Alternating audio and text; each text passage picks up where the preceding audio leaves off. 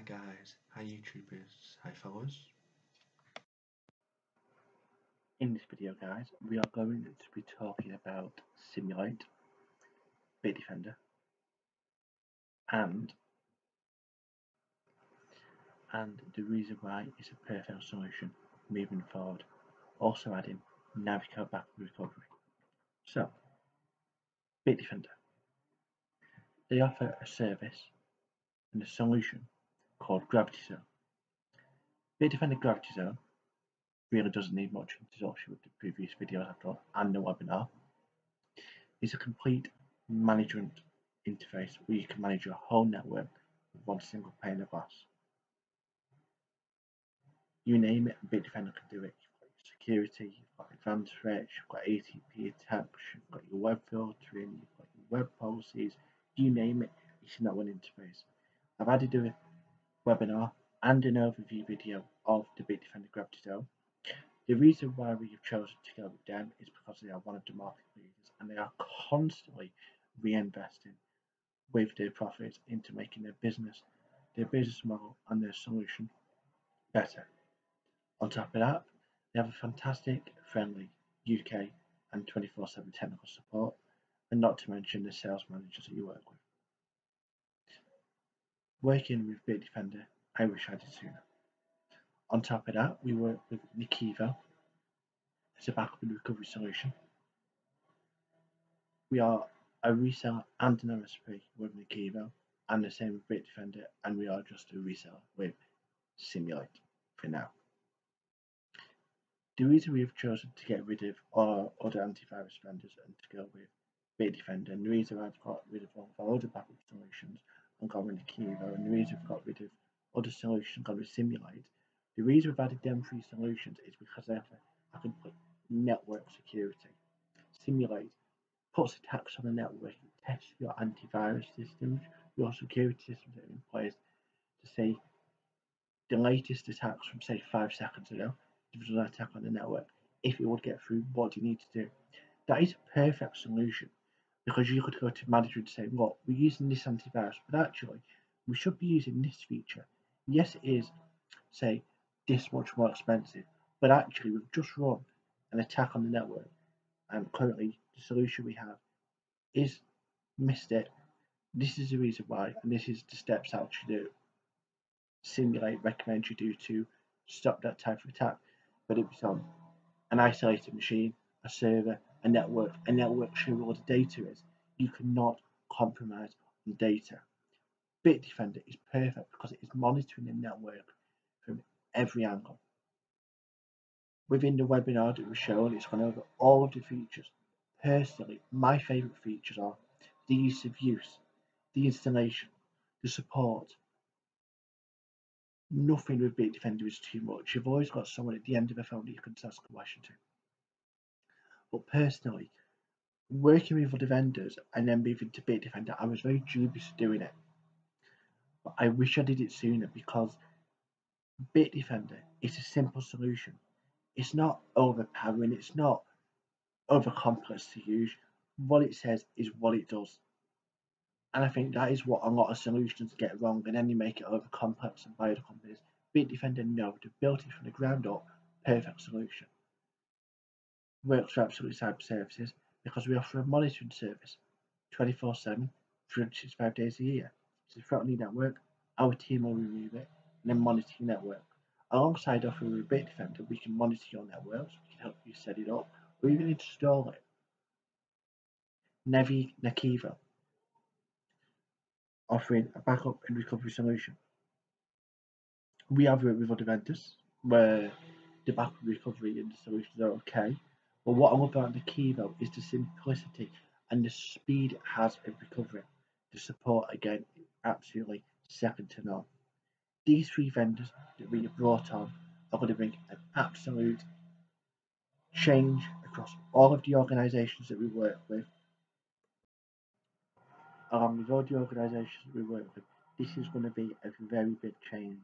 We are aware that some customers may be dubious of moving away from the current vendors and as stated in the previous video, we are more than happy to help you move over, to answer any questions, to offer a webinar, to help you with anything. Nothing is too big or too small.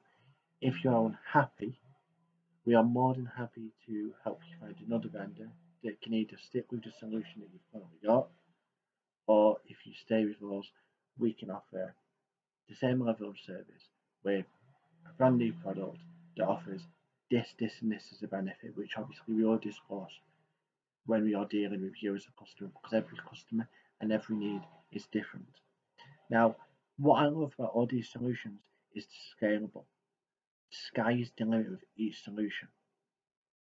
With other vendors that we work with, we've always had an issue where when it gets to a certain amount, the network goes slow, the backup slow, the recovery slow, or when it gets to say certain file types.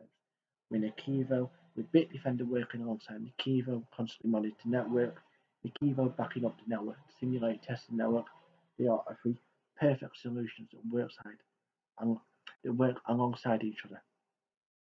What I love is that it is a complete and unified solution.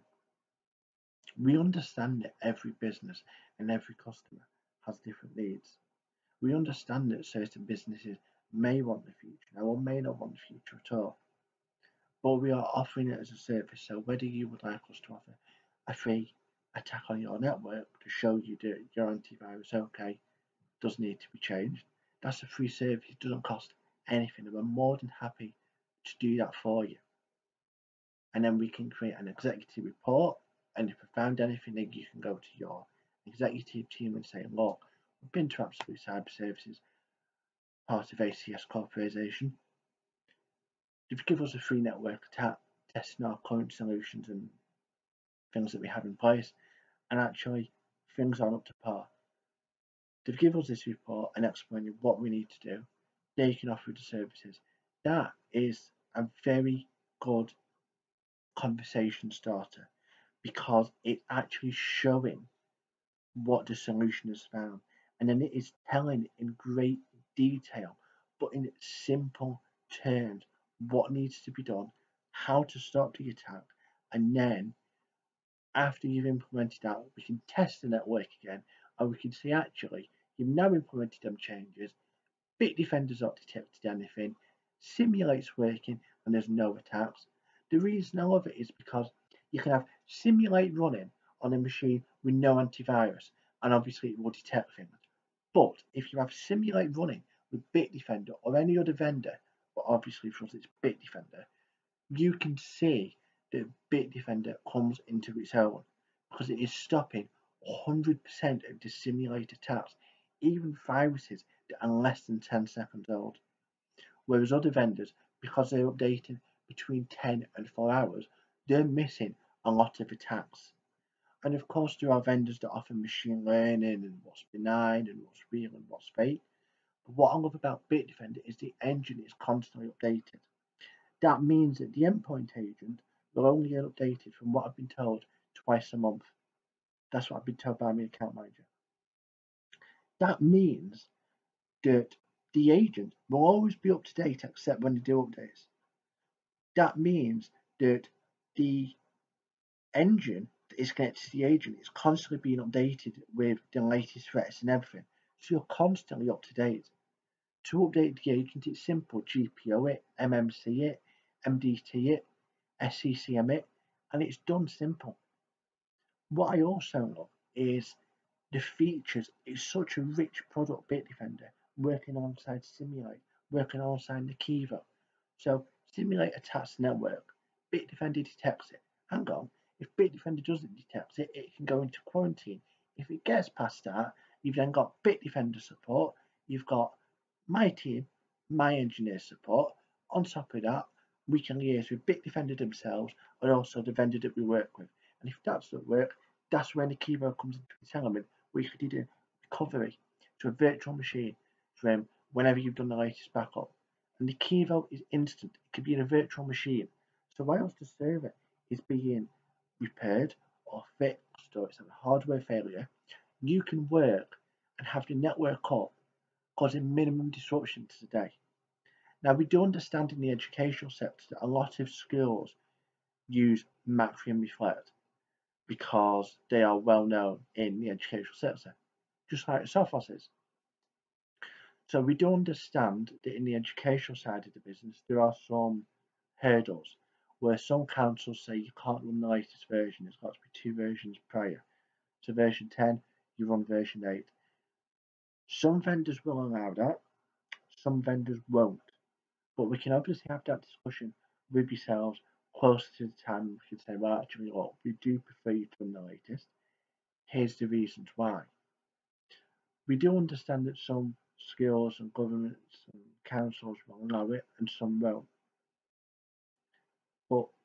Whatever solution is being implemented, whether it is Nakivo, whether it is Bitdefender, or whether it is a test on the network, we will always make sure that we adhere to the local policies that you've got set at your business, as well as keeping your customer, as well as keeping your client and your customer data safe, and following the policies that we have set as an organisation as well. The reason why I've got rid of a lot of partners is because I don't see them bringing value to the customers and the services that we offer. So far, I've got of about 36 partners, and since ACS corporation started taking over as the holding company of all the other companies, I've noticed a humongous change in the way that the IT industry is going. And that is fantastic because more and more customers are moving to the MSP models. That's fantastic. But at the same time, a select few customers are still going down the traditional reseller route. That's still not a problem. We can offer that as a service. But we are wanting to move more customers onto the MSP side because it is cheaper. You get better benefits. For example, the reseller, you get a one year support, one year maintenance, then you have to renew it, which costs money. And ultimately, per license, it can add up even if you get a 50% discount. Whereas the MSP, you're paying per month. So every month you're paying, you're getting all the updates, you're getting all the support, all the upgrades as well. That's it. That is a huge selling point. And on top of that, you can add on and you can take off as many as you want. You just need to let us know a couple of days in advance to make the changes at Bitdefender so we don't charge you for the extra licenses, for example, just using Bitdefender. And then the changes will go through. But the MSP is the route to go. But of course, there are certain organisations that will require certain services and certain reseller type models, let's say. But I cannot wait to work more with our clients moving forward with Kivo, Bitdefender, as well as our fantastic solution, Cymulate.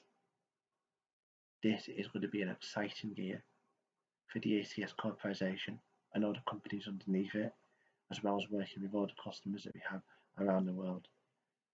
Whether it's hospitality, education, corporate, SMB, large enterprise, you name it, we can cover it. No request is too big or small. You can contact us 24 7, 365 days a year. No request is too big or small. If you request any further information, you can contact us on the website down below. If you require any webinars or any technical trainings or product overviews, please let us know. And what we will do is either one of the team will host the webinar. But what we also like to do is we like to get a technical expert on directly from the company. For example, we can get a technical agent from Bitdefender. They've just questions that my team may not know or I may not know, at least that way you're covered. And that way it's making it a little more professional and more friendly but we are more than happy to assist you. Thank you for the ongoing support through COVID and for all the changes that are making, and I cannot wait to contact with you again in the future, moving forward. Just before I go now, with regard to the licenses, whether it's yearly, licenses that are coming to expire, we will contact you in due, in due course, and we will let you know in advance time to give you time to test the solution. Or if you want to move away, we are happy to do that for you to take the legwork out of it to show that there's no hard feelings. I think courtesy goes a long way. The reason why we want to do that is because we want to give you the 30 day trial. We don't want an instant where you install your purchase solution and then you don't like it. Because then you have to roll back all the changes and all the machines everything. And that's going to be quite crazy. Personally, that isn't what we recommend anyway, and this is why we offer the webinars and the services and the technical solutions that we offer. At this moment in time, we are not adding any more partners as yet within the next two months. We have requested further information from certain solutions that will work alongside the three solutions that we just talked about. They will enhance your security even more because it just takes one click of a button and that solution could be infecting the network. It's just one judgment. And this is why we work with vendors like CyberSmart or KnowBe4. So you can educate your employees by giving them tests like a 20 second or 20 question quiz asking them is this a real email, is this a fake email? And then you can narrow it down to your department and to the staff and say, right, Kate, we can see you've got 18 out of 20, but actually you failed on a phishing email from Amazon. We recommend that we give you a bit more training. And that way, not only is it helping you in the work environment, protecting the work, keeping data safe and more secure, but at the same time, it is also educating users with true and real life experiences. But what I love about KnowBe4 is the fact that you can customize the templates to whatever you want. You can set whatever logo, whatever text, or there is a whole library that you can use. For example, you can choose IT field, there's a whole list there. You just pick what you want, select the user you want to deploy it to, and it's gone over the network.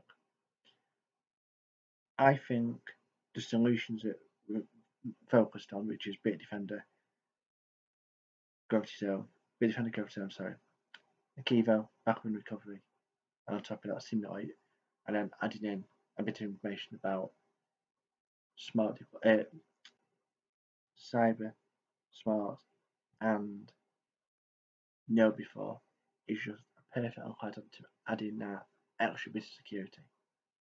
As you can see behind us, we have some awards from technicals and sales professionals. We are adding more so we can give you further assistance, whether that's technical support, sales advice, or sales training. Thank you once again for the ongoing support and we look forward to doing business with you moving forward. Hope to hear from you soon. Thank you. Bye bye. This conference will now be recorded. All right.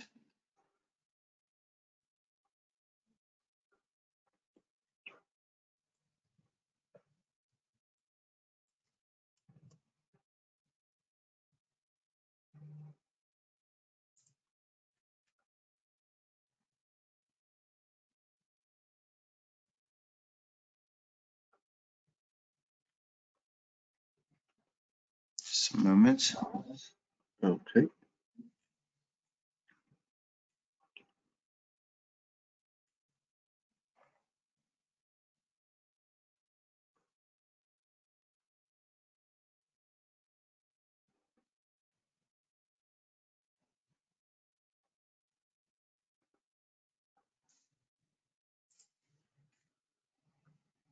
All right. So, uh, can you please tell me in this way more about the customer you have at the moment?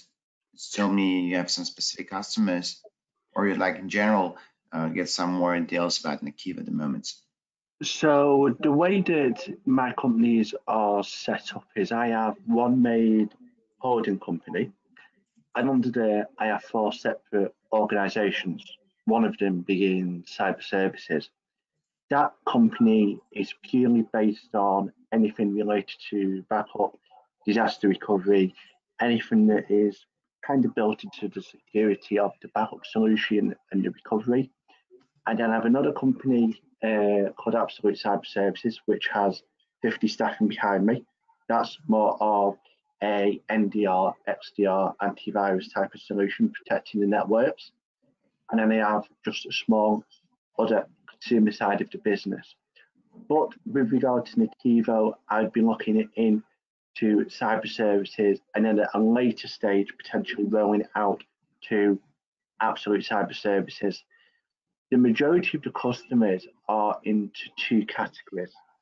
So they fit into one of the companies depending on their criteria and what their requirements are. But one customer can range from having 100 machines to 20,000 machines in. So inside oh, Right, many in cyber services, I have 2,119 customers, but each customer or client can range from 100 to 20,000 machines. But I only have four customers that have 20,000 plus machines. All right, all right. So It's like pre- pretty big environment we're talking about at the moment. I've split it up in that way because I find it better in a way that I can provide dedicated and better solutions to meet the customer's needs. Because in the because in the past it was quite a few solutions and they weren't bringing value to either me as an MSP and partner, or they weren't giving what I would deem as an acceptable level of support either to a partner or to a customer if they're having an issue. For me, I like to get hands-on with the product so I at least understand it as well as then I can go to the customer and say, look, I've tested it, I've seen it, I know what this product's like. I don't really onboard products unless I've not tested them. Last night I did request an NFR license, which I can see has gone to a, uh manager and it says someone will reach out to me. All right. Maybe you'd like us to show you the Nakivo interface, how it works. Yeah, and for me to get very familiar with it again. I think it will be much more useful because uh, we already have such kind of meetings and I already told you, probably my colleague Jaden already told you, uh, all of you in the Kiva. All right. So you're basically looking for the MSP option, correctly, Thomas? Uh, first of all, I start off as a reseller and then I transition over to an MSP. The reason I've always done that is because I like to prove myself to a company.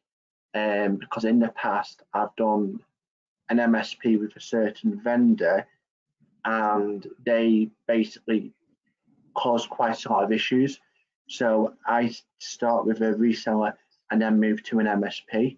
I work with four companies on an MSP basis so far, and I've just recently onboarded another one last week.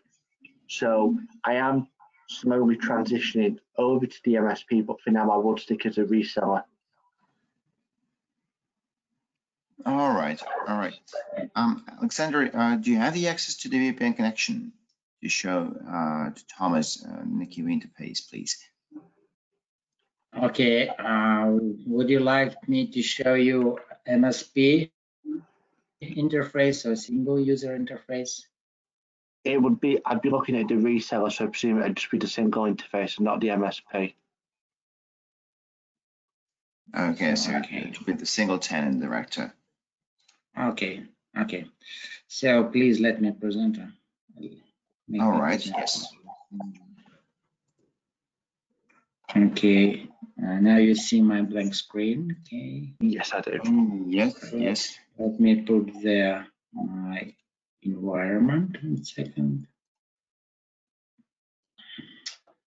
Okay, so a single user uh, environment, single user uh, web interface is look like uh, link to machine, to virtual physical machine on NAS, or maybe EC2 instance, Amazon EC2 instance, where you install our uh, appliance, our director. And usually we use uh, port triple four three to connect to our uh, appliance, but you can change it uh, during the installation of our product. So what you can see when you logged to our environment, you see uh, there is a panel on the left where you can select dashboard, monitoring, activities, calendar, search, and settings. Now we are in settings, and uh, in these settings you can customize uh, SMTP server to be able to send to receive uh, reports, uh, monitoring events, and so on from our product. Also, you can select what what uh, email notification uh, notifications you want to get, what reports.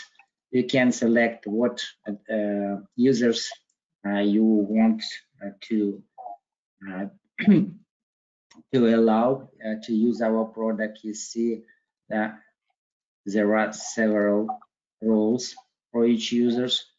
You see it could be, one second, it could be administrator, it could be, uh, okay, let me, let me create new one and you will see how it can be changed.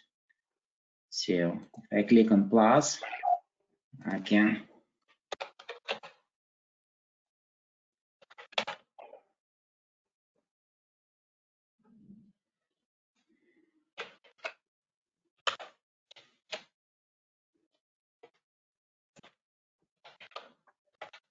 for example, you see when you select uh, go to the role uh, top of our wizard user creation wizard you can assign administrator backup or recovery operator or view only. So you may give access to any users you want and assign uh, them any roles you, you can see now.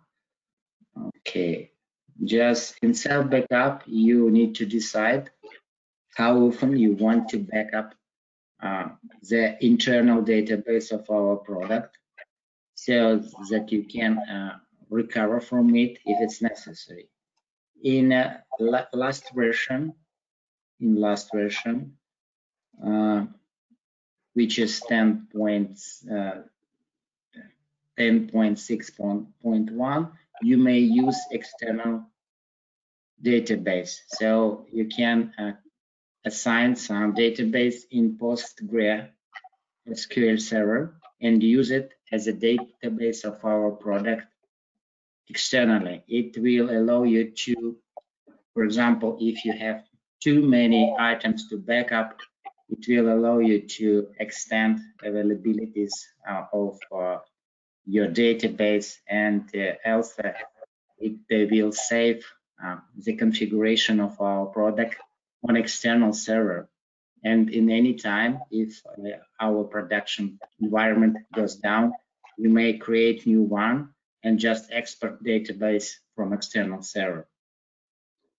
Okay. So we support uh, both internal and external databases. You may select you can you may uh, customize some system settings.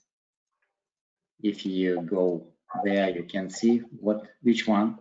In bandwidth throttling you can uh, limit uh, the usage of our by our product usage of uh, local uh, network. So for example if you want to create to limit uh, our software for example, that job with not this one. One second. If you want to limit uh, the usage of your local network by 10 megabits, you may create new rule and uh, our software will not exceed these limits.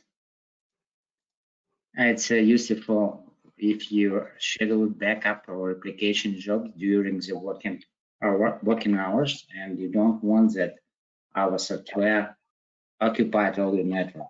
Now in Branding you can add some details about your company. Also you can create or add some logos, backgrounds, and so on. In events, you can find any event that took place uh, in your environment since the first installation.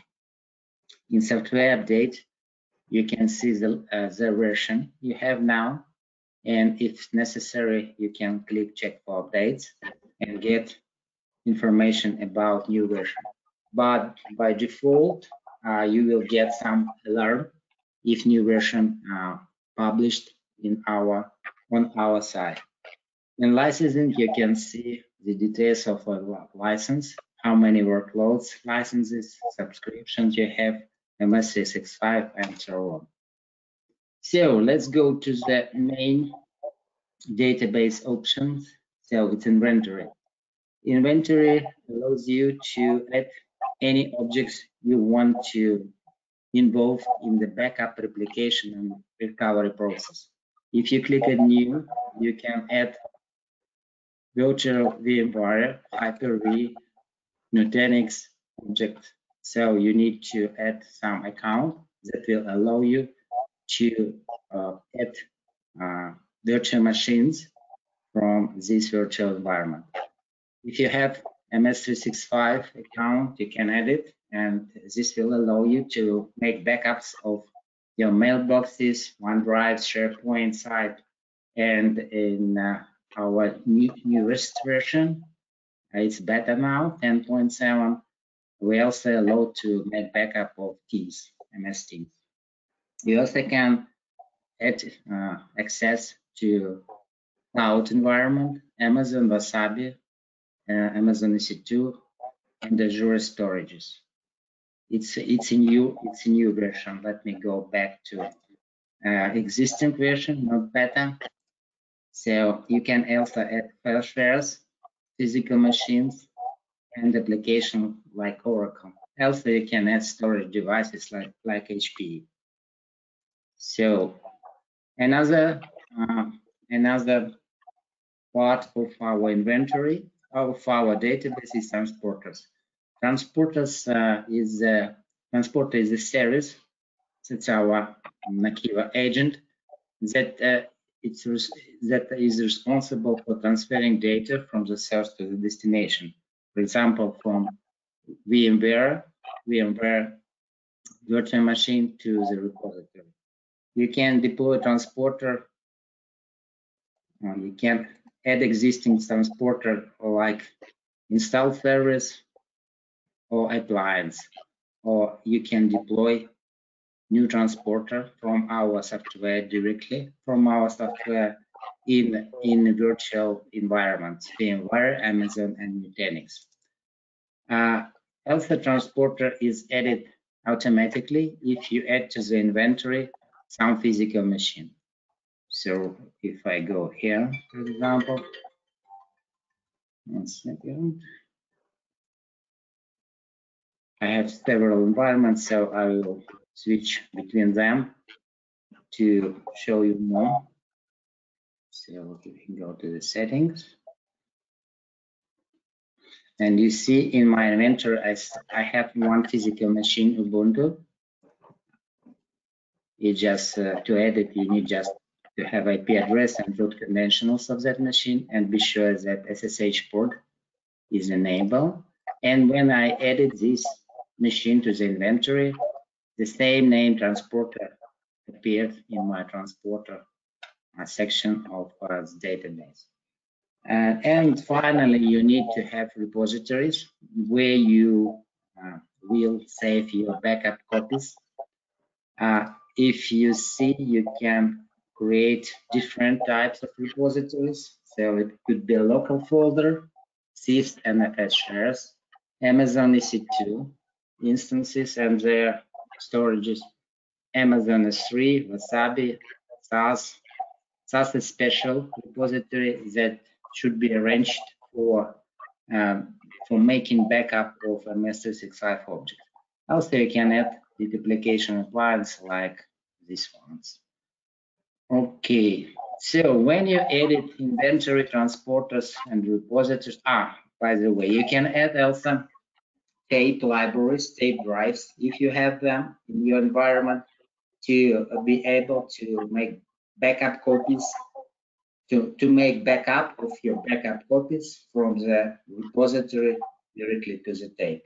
So it's uh, some kind of realization of uh, uh, schema 321. So you need to have for critical machines at least three copies, one on your local repository, another on the tape, another carrier, and the third one outside of the office. So for example, in the cloud. Okay, when you have inventory, transport and repositories, you can go to the dashboard and create jobs, backup replications, and backup copy jobs, site recovery as well. Depending on what you added to the inventory, you will be prompted to select one of these types of uh, backup jobs or replication jobs. I have almost everything excluding Cloud Directory. So, for example, if I want to make VMware backup job, I click on it. Now I can select uh, the source machine, virtual machine, using view host clusters or VM in place. It's the usual view which is used in uh, sphere or ESXi console. Uh, but most interesting is the policy view when you can select your machines automatically. So you can create several rules, unite them, and every rule can use the search by VM name, VM tag, location, data store, network, size of VM, amount of RAM or CPU, CPU, power state, and even IP address. So for example, if I want to select some smallest virtual machine, I select search criteria size of VM. Here I select is less than and let me type 10 gigabytes. So you see I got automatically all machines that has that have VMDK files less than 10 gigabytes. If I add one zero, you see I've got more. And if I have, for example, yeah, I have more data.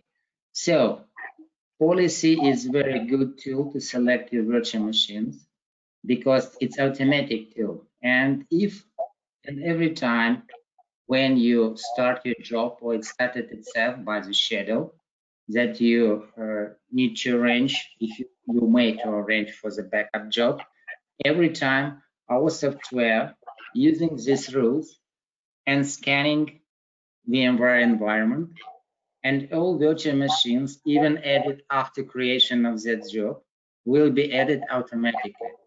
It's very nice uh, tool because uh, you may be sure that no, no any new virtual machines that you created uh, that it's uh, satisfied to these rules uh, will be uh, uh, will be out of backup process. So new machine will be automatically added to the list of the machines, virtual machine included in this backup job if these rules are satisfied.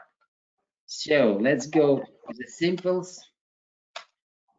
And for example, I just I can select manually my virtual machine, or I can use some search. For example, I want to backup small machine. Let me select it. I click next to the destination tab of the backup job wizard. And uh, now I need to select where I want to save my backup copy. So select the destination or repository. Uh, you see, I have several repositories. Some of them are available and some of them are great. It's not available because these repositories are especially for MS365 objects. So let me select this one. In advanced setup, you see this announcement to reuse existing backup, expand advanced setup, and specify the target backup for each VM. Uh, you see, I know that uh, I already have the backup copy of this machine. So I click, can click on expand. Here you can see all the disks that uh, uh, present on this uh, virtual machine. If you have several of them, you can select which one you need to exclude, for example. I have this small machine, it's just DOS machine, one disk, so nothing to uncheck. So here I know that I already have existing backup copy of this machine. And to prevent another next full backup of this machine, I just prefer incremental one. I need to select the existing backup copy. So I click to expand and let me select one of these backup copies. If I select this one, it's it's prohibited because it's already used by other active backup job. But if I select another one, I can use it because the backup job that created this backup copy already deleted. So there will be no any conflict between existing backup job and newly created backup job. I click next. On a shadow tab of the backup job wizard, I can select how often I want to start to run my backup job.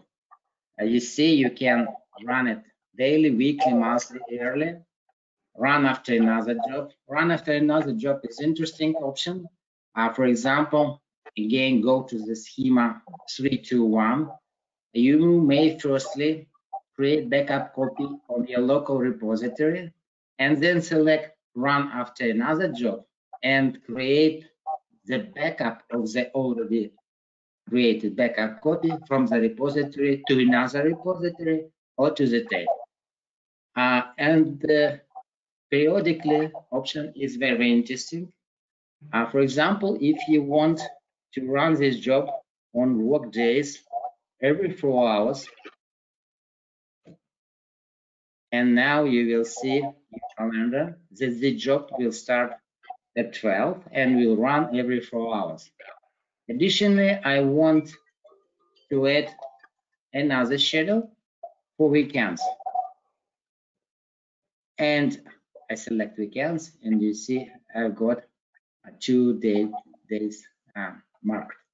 So I want to run this job on weekends not so often as a work day in work days, only twice a day. And you see there is a backup job window. So on workdays, every four hour, on weekend, only twice a day. Okay, can hide calendar. By the way, calendar is very interesting option. You can manage uh, the time window uh, of your backup job and see all your backup jobs that were scheduled.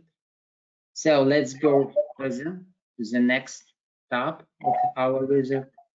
And here in retention, you need to select how many retention points you want to save for this uh, job. Um, currently, we support up to 4,000 retention points for recovery for backup job. It means that every machine that uh, which is included in this in the list of this backup job uh, can uh, save up to 4,000 retention points. Uh, so you may select 4,000 and it will work. Additionally, you can select uh, using the schema father, grandfather, father, son, early, monthly, weekly, and daily backups. It will be additional backups. So uh, you can read about this our uh, in our uh, in our um, user guide. Uh, by the way, anytime if you put your mouse cursor to the icon with letter I inside, you will see short description of this option, of the correspondent option. In case if you want additional information, just go to the help, click on help, click online help center. You will be transferred to our help center. You see we have user guide and knowledge base, forum, release notes, and API reference. If you click on user guide, and for example, uh, type create backup, you will get all related articles. You see there are this article, this article is uh, exactly what we are doing now. If you click on it, you will get step-by-step -step instructions how to create backup job. Okay, so go back you see there is such immutability option that we have. Immutability option means that uh, you may uh, select, uh, you may assign to uh, some of your virtual machine backup copies the properties immutability. It means that no one can change or remove these backup copies for selected number of the days. So it's only available on repositories that were arranged on the Linux-based machines. So because only Linux system has the immutability attribute for their files and folders. You can read about this again uh, here if you put your mouse cursor to the flag or go to the to the user guide in tape type immutability, for example. You will get uh, um, uh -huh. make this type. Okay, you see, if you click on it, you can read everything about immutability. Okay, go back or go further to the last tab of our wizard. Uh, it has uh, the biggest quantity of the options. So first of all, I want to rename my backup job, my default default name of the backup job. Let number seven, for example. Okay, so app-aware mode. App-aware mode means that you are running on your virtual machine uh, Windows operational system uh, and volume shadow copy service is running there as well. Volume shadow copy service enable uh, enable you to save uh, not saved data yet uh, that are used by some software, for example, some programs, Microsoft SQL, Exchange, or Active Directory. So enabling this feature, you can be sure that before uh, making snapshot of this virtual machine to transfer it to the backup repository, all the data from the RAM, so all the data about uncompleted uh, operations will be saved to the disk and then you only we make backup. So if you don't have this service, for example, uh, it's not running Microsoft Windows and you don't need uh, and you don't want to use uh, volume shadow copy service, or for example, it's running Linux, which uh, which doesn't have doesn't have such a service. You may disable it. I'm running DOS on this machine, the smallest machine. I do not know this. I don't want to, to use this option to get some alarms that uh, app-aware mode is not working there. So I disable it. Change tracking option enable you to use VMware uh, option, VMware feature, use change block tracking mechanism. This mechanism checks the current state of the virtual machine, virtual machine disk and select only Z blocks that were changed since the last backup. So only change blocks will be transferred to the repository. But we have our own proprietary method in case if by some reason you cannot use VMware embedded mechanism of change block tracking you can use our proprietary method that is, that, that is included in our software. It works perfectly as well.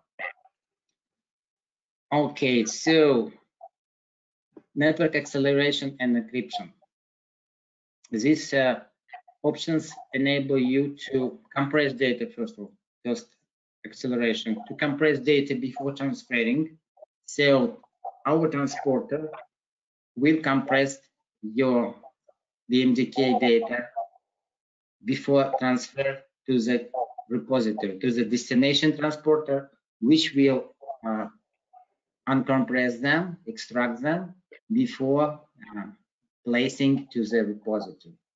Additionally, if you are using, for example, uh, repository on the remote location, and you can get this location only through the internet, you may ask to make encryption of uh, the data, of the transfer data. So even using internet, you can be sure that nobody reads this data. VM verification will enable you to, to check backup copy consistency. Uh, consistency. So uh, we use two ways of verification. The simplest is a boot verification. It means that when the backup uh, when the backup uh, step of transferring data to the repository is completed, our software will create new virtual machine with the same configuration as the source machine and establish direct connection between this newly created machine with the MDK file located in our repository. So no transfer data will be take place. In this situation, direct connection to the repository will be established. So boot verification means that our software is checking if the uh, VMware, uh, VMware tools are running on that machine. If they are running, it means that uh, this machine was uh, was up and running. Additionally, you may request screenshot verification. It means that additionally to to boot verification, our software will make screenshot of the welcome screen of the recovered machine.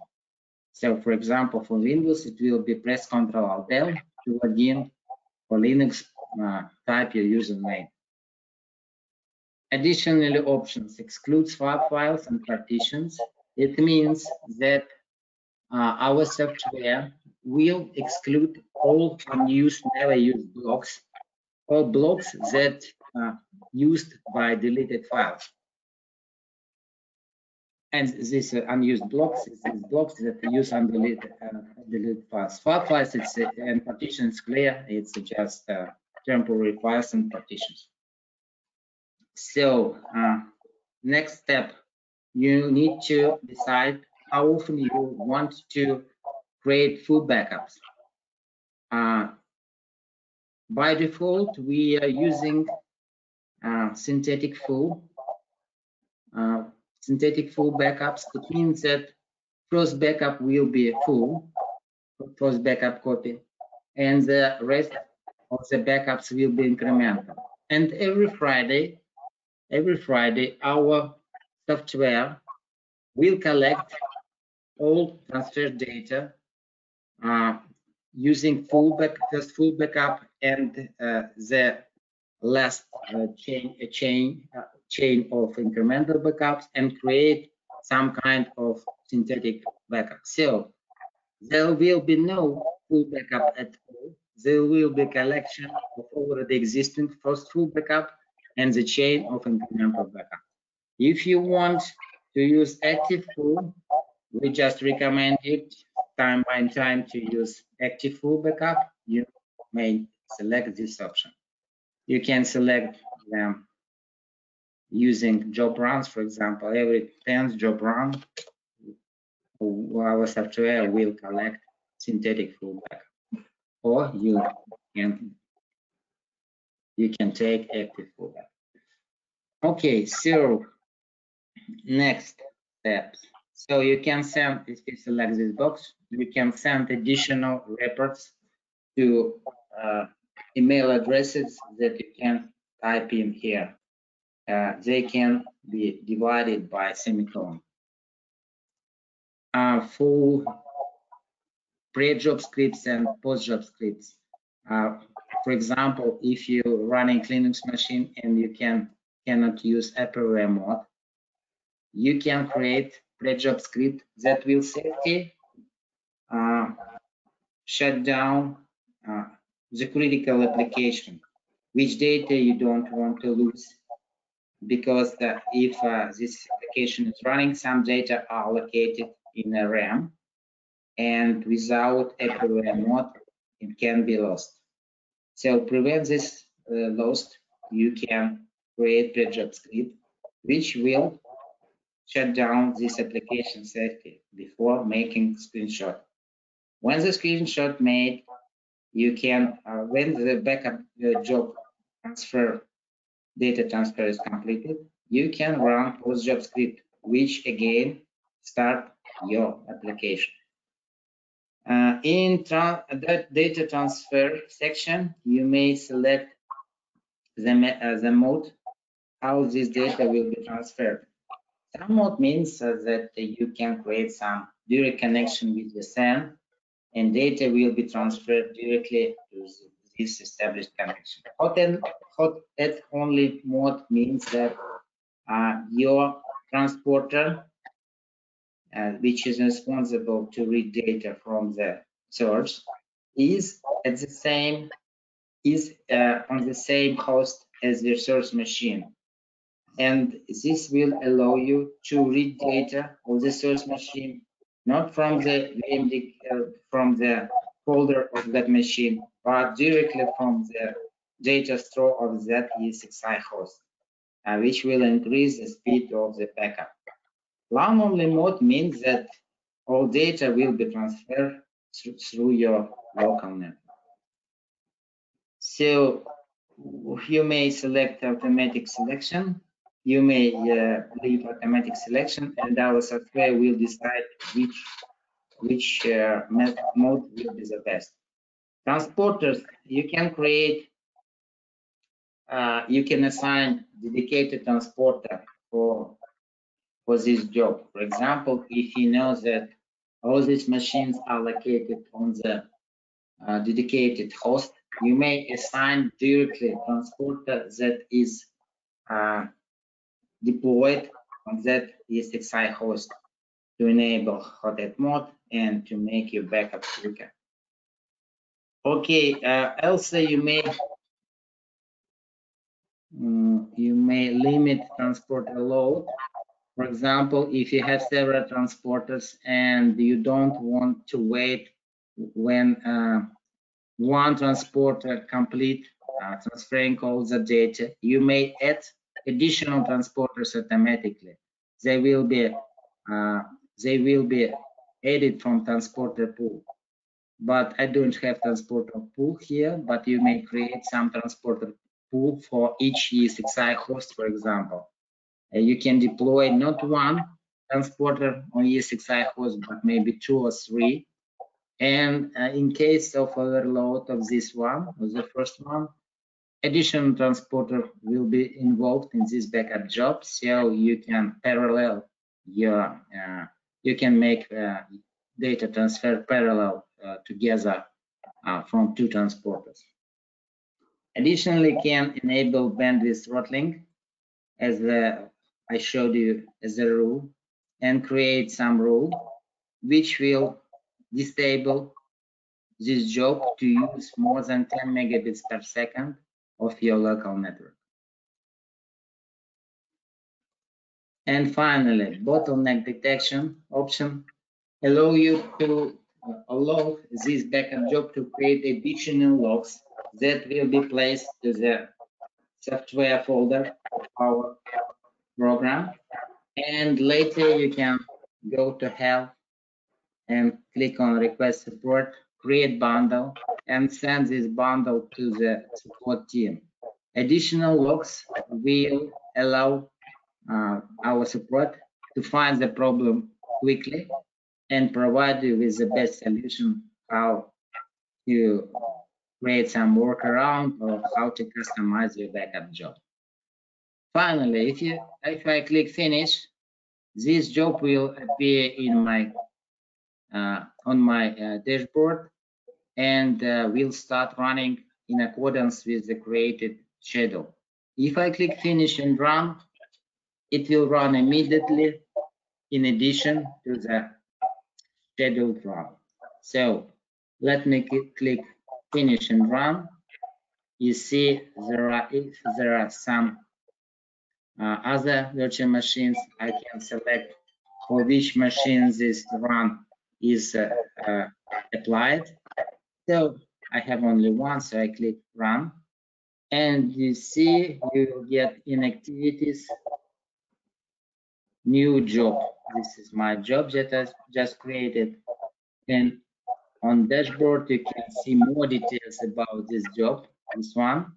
So you can see the progress of this job, what it's uh, doing now, what our software is doing now. You can see all job settings, so the tabs that we passed uh, uh, following the backup job wizard. You can see which virtual machine included in this backup job, target repository, and transporters, which I used to transfer data. When snapshot is completed, you will see the progress of transferring speed and raw data. So that's all for creating and running the VMware backup job. Do you have any questions? The one question that does spring to mind is, I have certain customers that have got a rule that is governed by our local council, where when they install an environment, it can't actually be the latest version. So, for example, if the latest version is 10, they can only run version 8 or two versions before because in schools in the UK, councils govern certain policies, and around the IT, um, you can only run two versions prior because they believe that is more secure. Would that be possible with Nakivo to run two versions prior or not? So uh, may may uh, may clarify? So you're asking if we support file versioning? Yes. No. If No? you've got if you've got a product that is running version 10, the schools can only run version 8. So if So y- you have different versions of our software. yes, skills Okay. can only run two versions prior to the latest. They cannot use the latest. You see, you see the backup uh, backup data uh, are saved at the same format for all versions. It doesn't matter. If you have backup copy, you can recover it by any version. Yeah, but what I'm what I'm saying is, when I get a customer coming to yourselves, are you able to give them the previous version installation file? Yes, we can find it. We need to ask support to provide it because it's not uh, available on the public site. So, but in archive, uh, we have such version. So if you need uh, the previous version, just let Sergey know and he will arrange the link to this uh, version. Perfect. Well, thank you for the demo. It's been very very informative and most helpful. Uh, Sergio, with regard to the NFR license that I've just seen on my email, is that with regard to uh, me submitting the request last night? Mm, Sergey, could you please answer this question?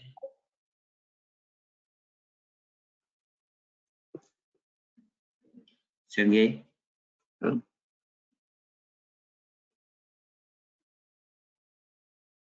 Sergey, are you still there?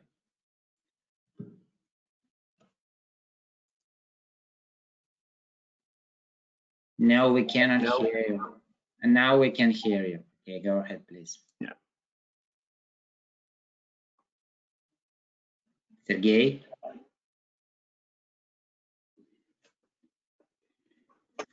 Sergey, please say something. We don't hear you.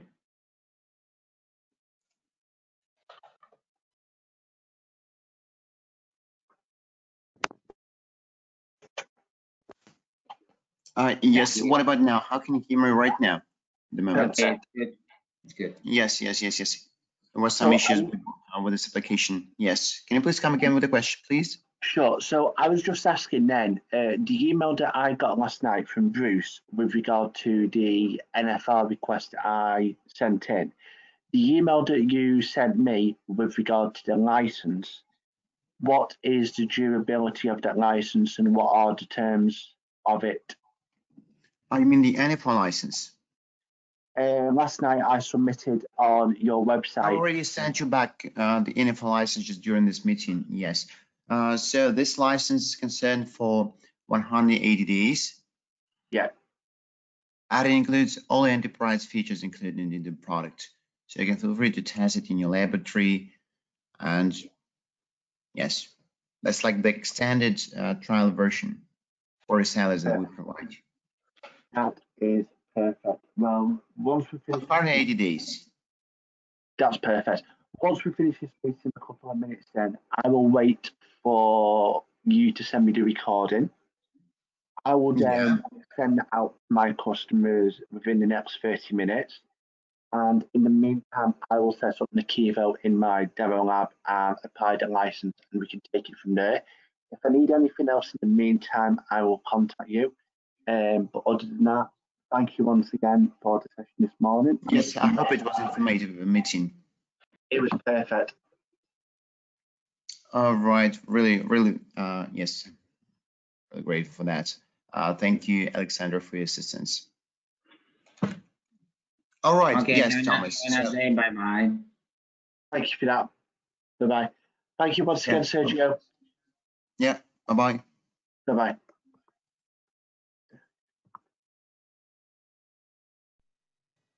Hi guys, hi YouTubers, hi fellows. Hi guys. This is another video in regard to Bitcoin Gravity. I've had a couple of customers ask me several more questions, and I thought I would just create a quick video to answer the questions. As well as at the end of this video, there is also a 50 minute overview of the Gravity platform. It is an in-depth overview and it is the latest version of Gravity Zone as well. So everything that you will see in this video is everything that you will have access to as either a partner and reseller, an MSP to manage your clients, or mainly for you as the business managing your machines and groups, users, etc. etc. So in the previous video where we talked about GravityZone, I was about updates, about deployment, about management, and just about support and how it compares. Uh, in this video, I've had quite a lot of customers ask me about how it compares to ESET on the detections because some customers say when they've used, for example, Kaspersky ESET, which is obviously the two private ones that I resell throughout the absolute cyber services corporation, that what will happen uh, is basically that ESET aren't detecting every virus exactly, even though it says it is. It's given quite a few false positives, whether that's the on-premise solution or the cloud. Now, the one thing that I would add to that as well is that with Bitdefender, there has been a lot of more detections. Um, I've yet um, to create a virus that has actually gone past it because I've actually tested it in my lab while I have been creating viruses. I also use another solution called Cymulate, which we discussed in another video, um, where the network is constantly being tested with live viruses, whether it's viruses from 10 minutes ago, viruses from literally 5 seconds ago, and um, Gravity Zone, not to sound biased, picks up every single detection. So then I've gone to Gravity Zone, I've said, well, hang on a minute, what happens if it misses the detection? What happens if it infects that machine? What would you do? And my partner's got back to me, the distributor, and said, Tom, we guarantee you that it will pick it up. If it doesn't, it will go into quarantine, but it will not infect anything on the machine. And on top of that, the confidence in my manager's voice said it all. And this is the reason on why I said in my previous video, I wished I moved Bitdefender sooner. The support is fantastic, the product is fantastic, the use is fantastic. I know in a couple of video, couple of um, reports, reviews on the internet, that some say ESET's easy to use and configure, but actually a downside is it isn't detecting um, what you would expect and quite a lot of inappropriate or bad things going through it. Whereas Bitdefender, in my opinion, it is easy to configure. I thought it was as simple as one, two, three. Um, but obviously everyone may not be as technically advanced as me. Uh, some people said it's hard, some people said it's easy. But once it is set up, you can create several policies. Like I discussed in the previous video about junior skill where you could have classroom 1, 2 and 3. And we discussed how policies could take effect on the machine, whether it could be, you know, games after 4 o'clock, or staff, for example, have access to more websites than students. With Bitdefender and the way it creates the policies, you can either create a policy for the whole of that group. So you, I as the MSP would have a company or a group within there I could see the tree of the users and how they've configured it. Because obviously I manage their tenancy. So basically the admin will see that but he will see his network and whatever groups is configured under there. Whereas I think see things as MSP and look differently. But as MSPs we obviously can't give out that information. But it really doesn't affect you and how the GravityZone protocol works. But it's the same goal regardless the way policies take effect, whether it's machine or group. Personally, I would recommend, in my professional opinion, doing it to groups because if you do it to machines, I've heard that it can be sometimes a bit harder to be moved off machines and it sometimes can be a bit sluggish. The reason I say to do it to groups is because that's dynamic grading and them changes take effect almost instantly. Now, what you've got to remember is every network is up to same. Every use case, every customer, every need, you know, is going to be different. What you've got to remember is that little changes will take effect. Big changes could take a bit longer. But going back to what I was saying about the detections and how it's configured, I just wanted to talk about a little bit on how it's configured so you get a bit of an understanding of how it picks up its detections. Within the settings, there's three options. There's light, moderate, or everything. Everything it will scan network shares, machines, you name it, it scans it. Moderate, you can set the requirements, but you can also set exclusions and what you want to include, what you don't want to include, etc. When Bitdefender is turned off or initially installed, um, it will scan every 48 hours. But we do recommend it's best to create an exclusion list if say actually this file, yes it does detect the device, actually we needed it and now it's gone.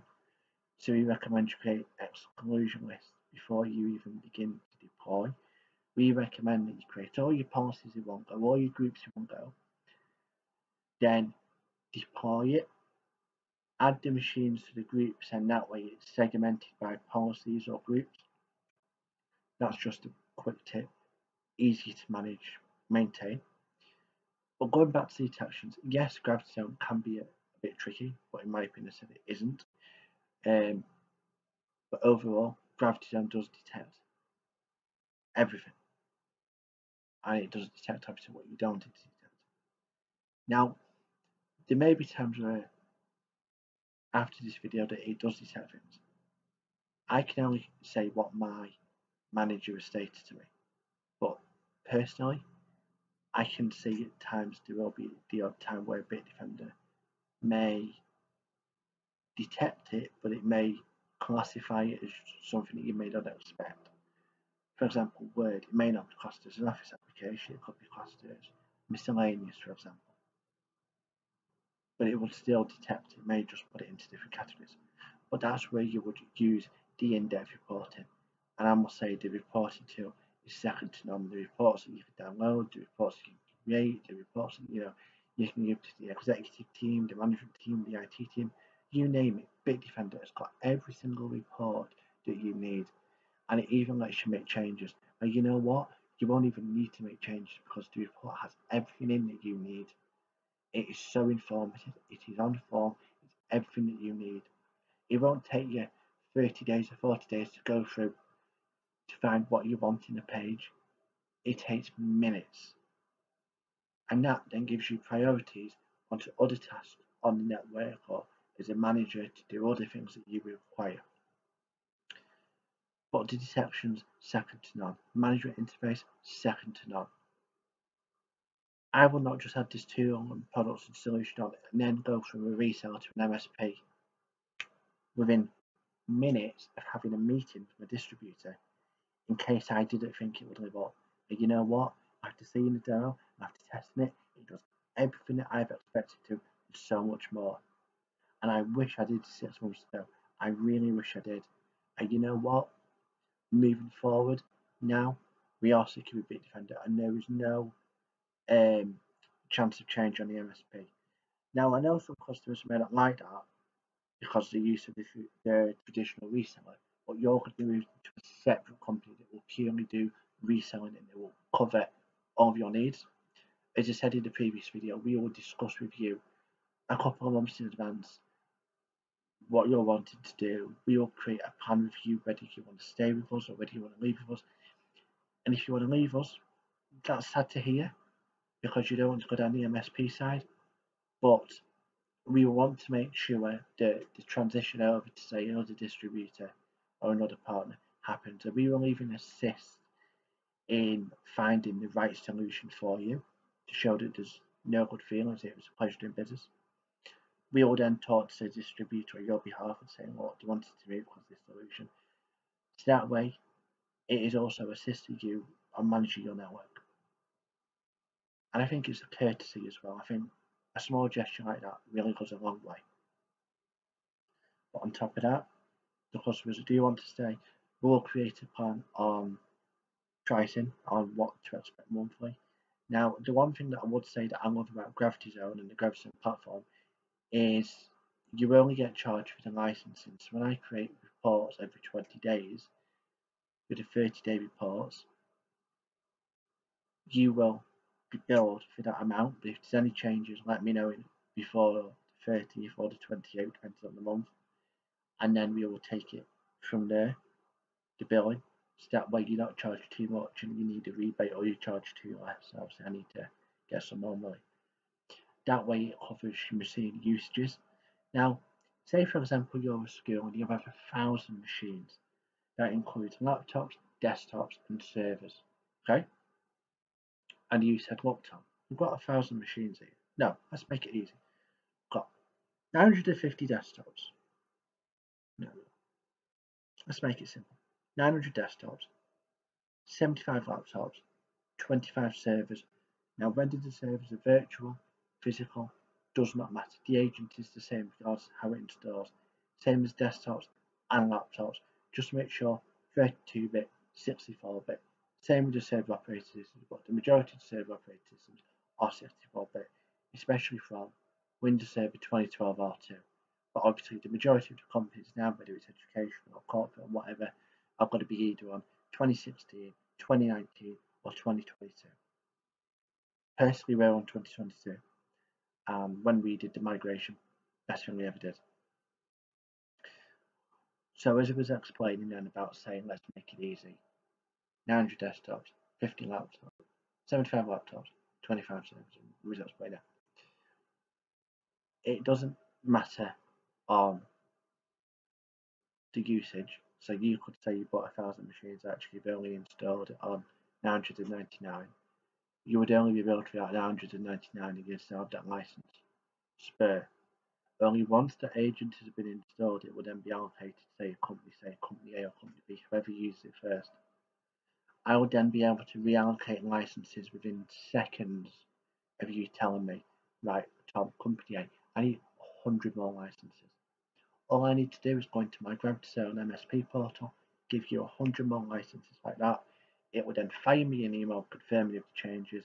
I would then forward that changes to, say, the management or to the IT director and the head teacher of skill, for example, and have them both and say, well, you request 100 more endpoints. Price is this originally. The price is going to go up to this. I will then notify my distributor who I go through of the changes and say, yes, I'm aware of the end of the month, my price and cost to yourself will be going up because actually we've got 100 more licenses just to you know the business. That way, it doesn't cause any confusion. Hang on, Tom, distributor, why have you not told me you've got 100 more licenses? That way, it's just making them courtesy and more easy and easier to manage. But what I love is the agent is so simple, whether it's deployment to installation and the detections and the support and everything. And going back to some of the questions that was asked, yes, detections are fantastic. Installation, licensing questions, easy. You will not be penalised for what you don't use. You will not be penalised for going over unless um, you've not paid the difference when we've notified you in advance by emails, of which we would automatically do because it's an automatic system. And we put read receipts, we would notify you when it's been opened. And our distributor would also be tagged in the emails whilst they're fully aware of that. So if you come to us and say, You've not notified us, hang on, there's the email saying you've tagged it, you've read it, and actually the distributor's been tagged in. So unfortunately, you do have to pay the difference. For example, if you use 99 machines instead of 100, that license is, you know, the license is free. I absolutely love this licensing model because usually with the reseller model, it's one license, one machine, yearly price. But where you go to volume licensing, yes, it does come cheaper and you get like your warranty your support. But the main difference is, is with the support and updates, every month you're covered for MSP. But when it expires on the reseller side of it, you would have to pay them for updates and support. And that's why we always say to the resellers, make sure you've got up to date support. So if anything ever happens, you're covered. And you know, you can't say to us, well, you've not told us rented support, we've got this issue. Fortunately, kind of, you've got to pay for that support. And then once you've got the support, we can then start assisting. Unfortunately, yes, that does look bad, but we notify you way in advance because we want to make sure that you're running the latest versions and that your warranties are up to date and support service up to date because in that way, if anything does go wrong, you're covered by I as the MSP, distributors, and companies themselves. But going back to Bitdefender, with regard to some of the differences between resale and MSP support, resale you just get level one. Then I would pass it on to my partner manager at Bitdefender. They would then put it through as a partner request. It would go through as a normal high or a normal request. With regard to MSP, we do level one support and level two support just to give you that bit of an edge to make sure that we can collect some more logs or do remote session or remote print screens, for example. So we will do whatever is required from our side or from remoting in. Um, and all sessions are recorded for quality issues, training purposes, of course.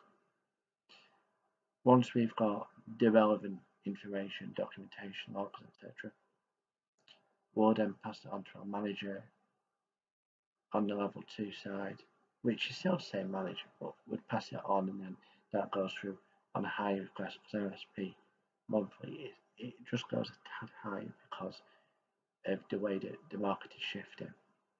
But as I've explained in previous videos, what I love about Bitdefender is second on sport, is second to none. The way that they manage market and succeed with their products, the way that they're constantly investing to make the products better. I know with other vendors that I worked with in the past, they just buy companies out and then it gets you know, here's 10 products to use, and here's 20 products to use, and 30 products to get training courses. That isn't nice. That isn't good. So with Bitdefender, one portal, one solution, everything through it. Patch management, Windows updates, policies, antivirus, HIPS protection, compliance reports, web filtering, web filtering policies, application list, application bot list, you name it, it's in there. And if there is a feature, let us know.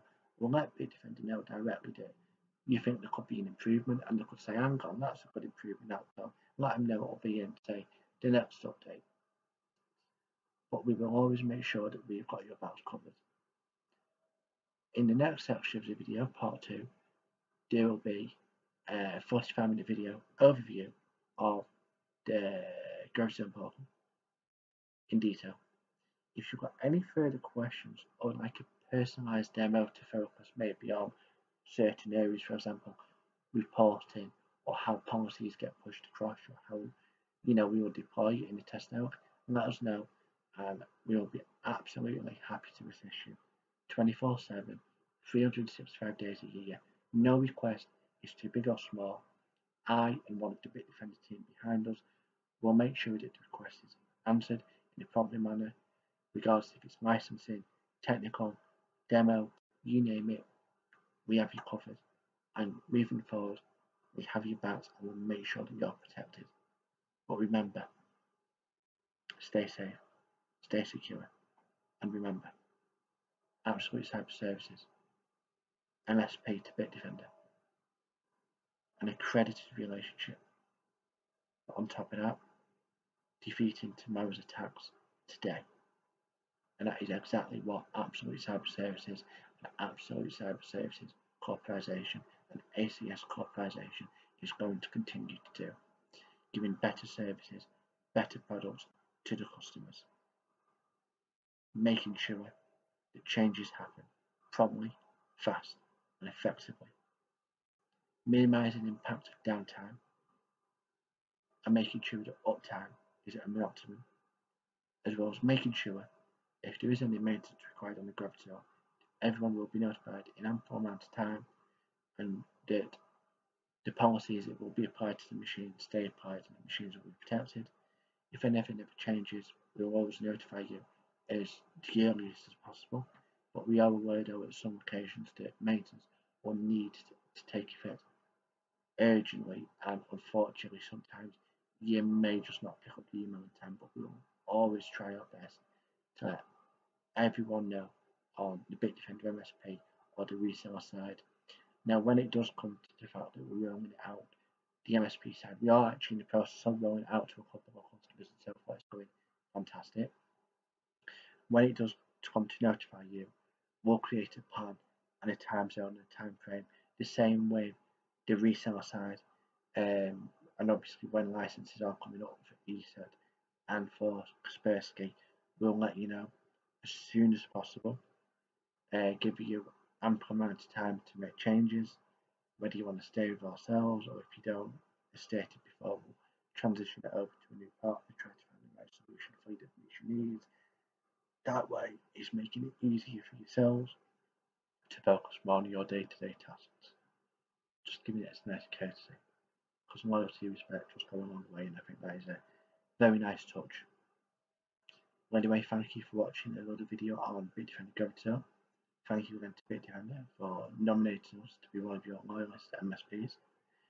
And once again, in a couple of seconds, there's going to be a video of Bitdefender Gravity Zone. This is the latest version, so everything that you'll see is a 12 of the 8 22 at 1450. Everything is the latest. If anything changes, we'll make the relevant changes to this video so you're kept up to date with everything that's going on. Thank you for watching. Hope you enjoyed the webinar. If you need any further services, contact us on the website, link in the description, request a demo, personalised demo, or any other services or requests, please let us know. One of I, Bitdefender, or any other solution expert team will be more happy to assist you. Thank you for watching. Bye bye. Thank you everyone for attending the Bitdefender GravityZone Security webinar. Today we'll give you information on who Bitdefender, the company is, We'll follow that up with a technical overview of the engine that drives our award-winning protection. Finally, we'll jump into a demonstration of our GravityZone Management Console. If you have any questions, please reach out to your account manager. We can schedule a one-on-one follow-up call with an engineer to review any technical details you may want to discuss. Let's start with a brief overview of our company. Our products start with the Bitdefender GravityZone that provides advanced endpoint security. We have data center and cloud security products like our unique agentless hypervisor introspector for Citrix XenServer. We provide network security and unprecedented visibility into threats with our network traffic security analyzer. And we also deliver enterprise level services, including our managed endpoint detection and response and professional services. We have over 17 years of innovation with almost half of our staff in research and engineering. Our 500 million endpoints feed our machine learning with threat data that helps us innovate with over 30 security layers and over 70 cybersecurity patents. Our technology is used in products by over 150 OEM partners. 2008, while the industry was concentrated on improving signature-based detection, we knew that wasn't enough. Signature-based security alone is a catch-up game, and we realized to truly protect our customers, we needed to stay ahead of the threats. That's why we were the first company to develop machine learning-based threat detection. Our machine learning has over a decade of cybersecurity threats to learn from, putting it at a distinct advantage over our competition. This makes our threat protection uniquely powerful against advanced zero-day threats like ransomware. We currently hold 48 patents, seven of which are specific to machine learning technologies, with 28 more pending. We continue to innovate with new technologies and features like the introduction of HyperDetect in 2017, which is a tunable extension of our machine learning technology.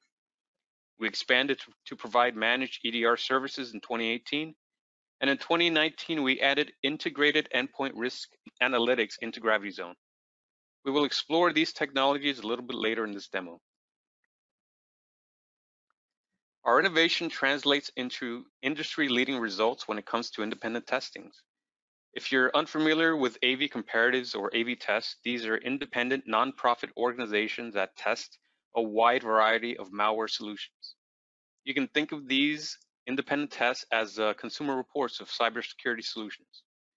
Year over year, Bitdefender has been at the very top of their list in not only detection of known as well as unknown malware, but we're also been at the very best at doing so without sacrificing performance. Bitdefender is trusted to protect the sensitive data of some of the biggest companies throughout different industries, including finance, healthcare, education, and government, among others. We have case studies on our websites if you are interested in learning some more about these customers. In the next few sections, we're going to take a look at the technology behind our GravityZone product. Bitdefender GravityZone is a comprehensive security platform that allows you to protect all of your endpoints in your environments, desktops, laptops, physical servers, virtual environments, and mobile devices. It is compatible with all major operating systems, all existing hypervisors, and multiple cloud platforms. It provides security automation, a high level of visibility, and simple and efficient manageability from a single centralized management console that communicates with a lightweight yet powerful single agent.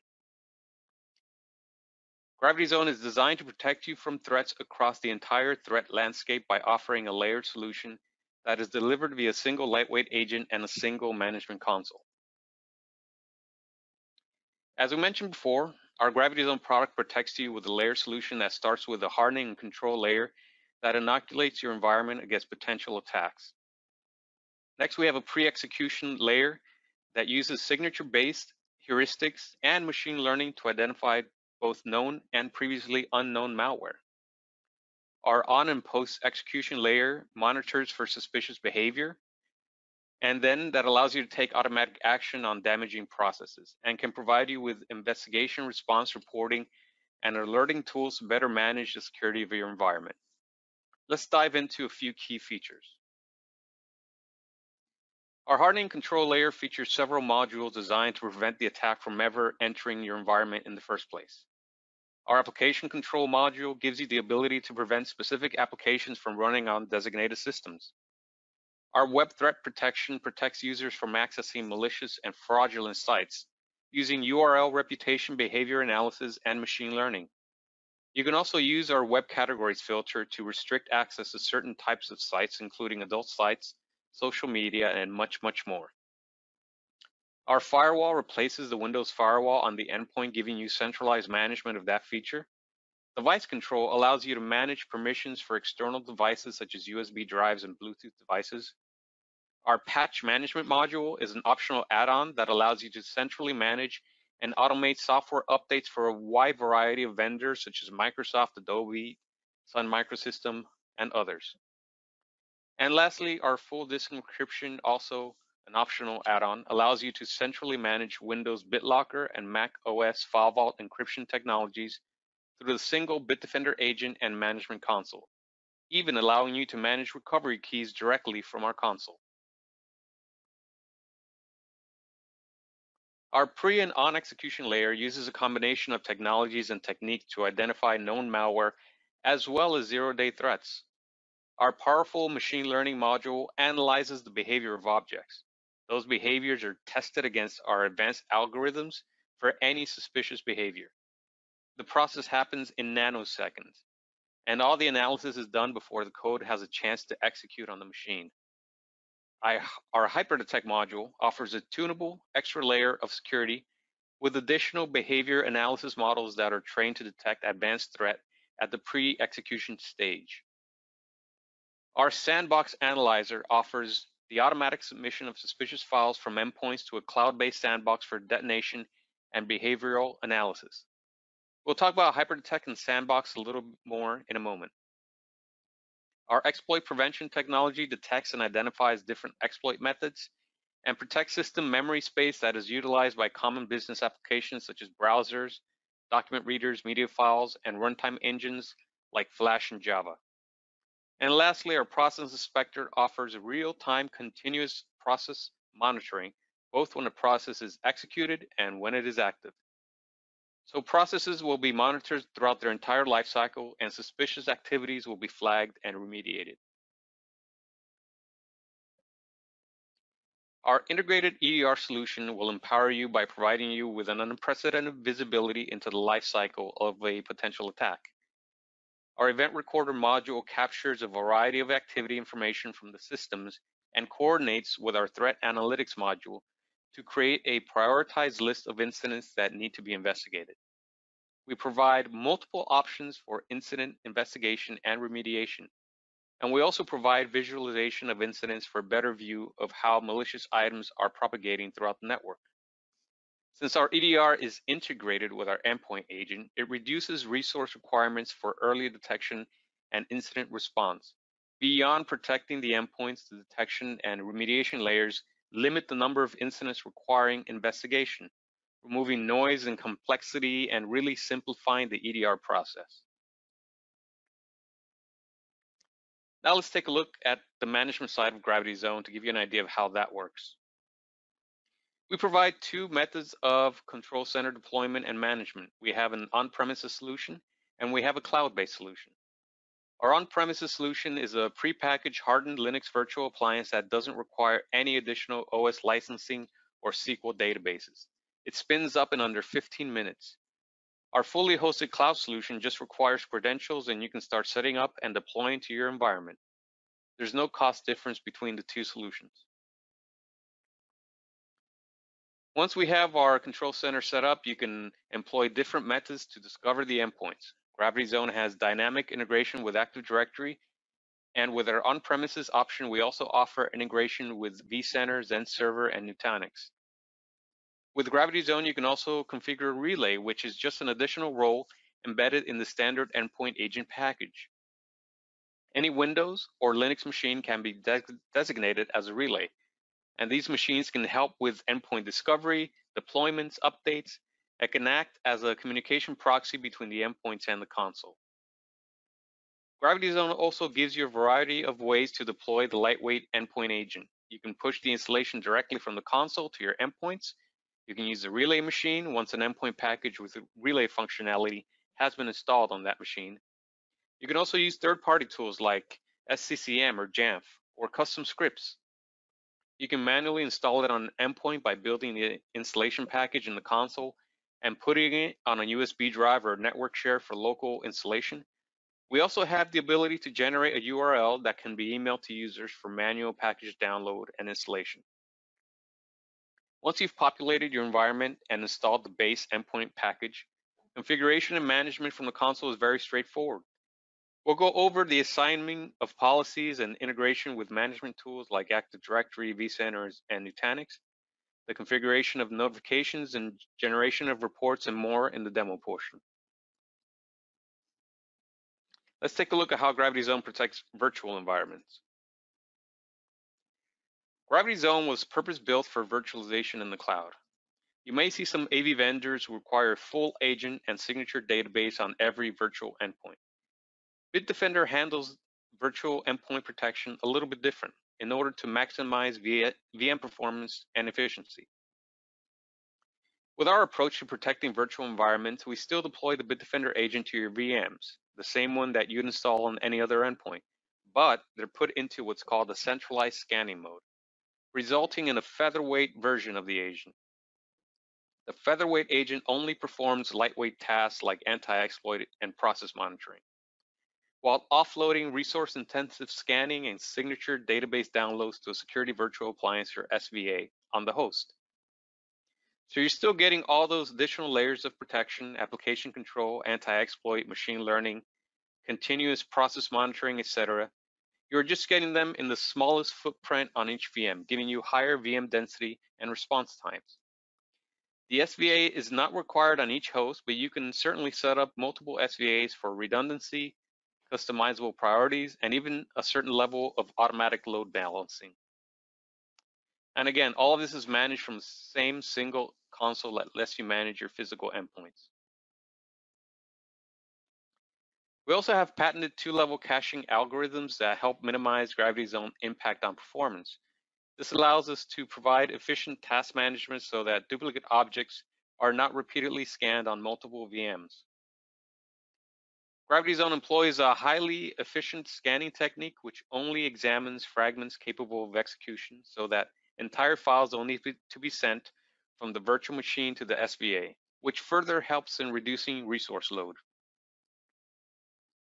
So to kind of sum it all up, what we have with GravityZone is a top-rated, multi-layered security solution that is engineered for performance, efficiency, simplified manageability, and universal compatibility.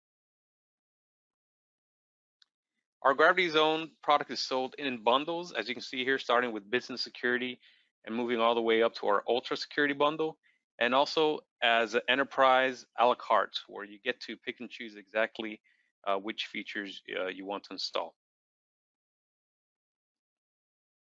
And now I'll hand it over to my colleague for a look at the Bitdefender GravityZone Management Console. So this is the Bitdefender console. Uh, you can. This is the cloud console. We actually have two. One is cloud, one is on premises. There's very little difference between the two, so we're going to focus just on the cloud console for the purposes of this demo.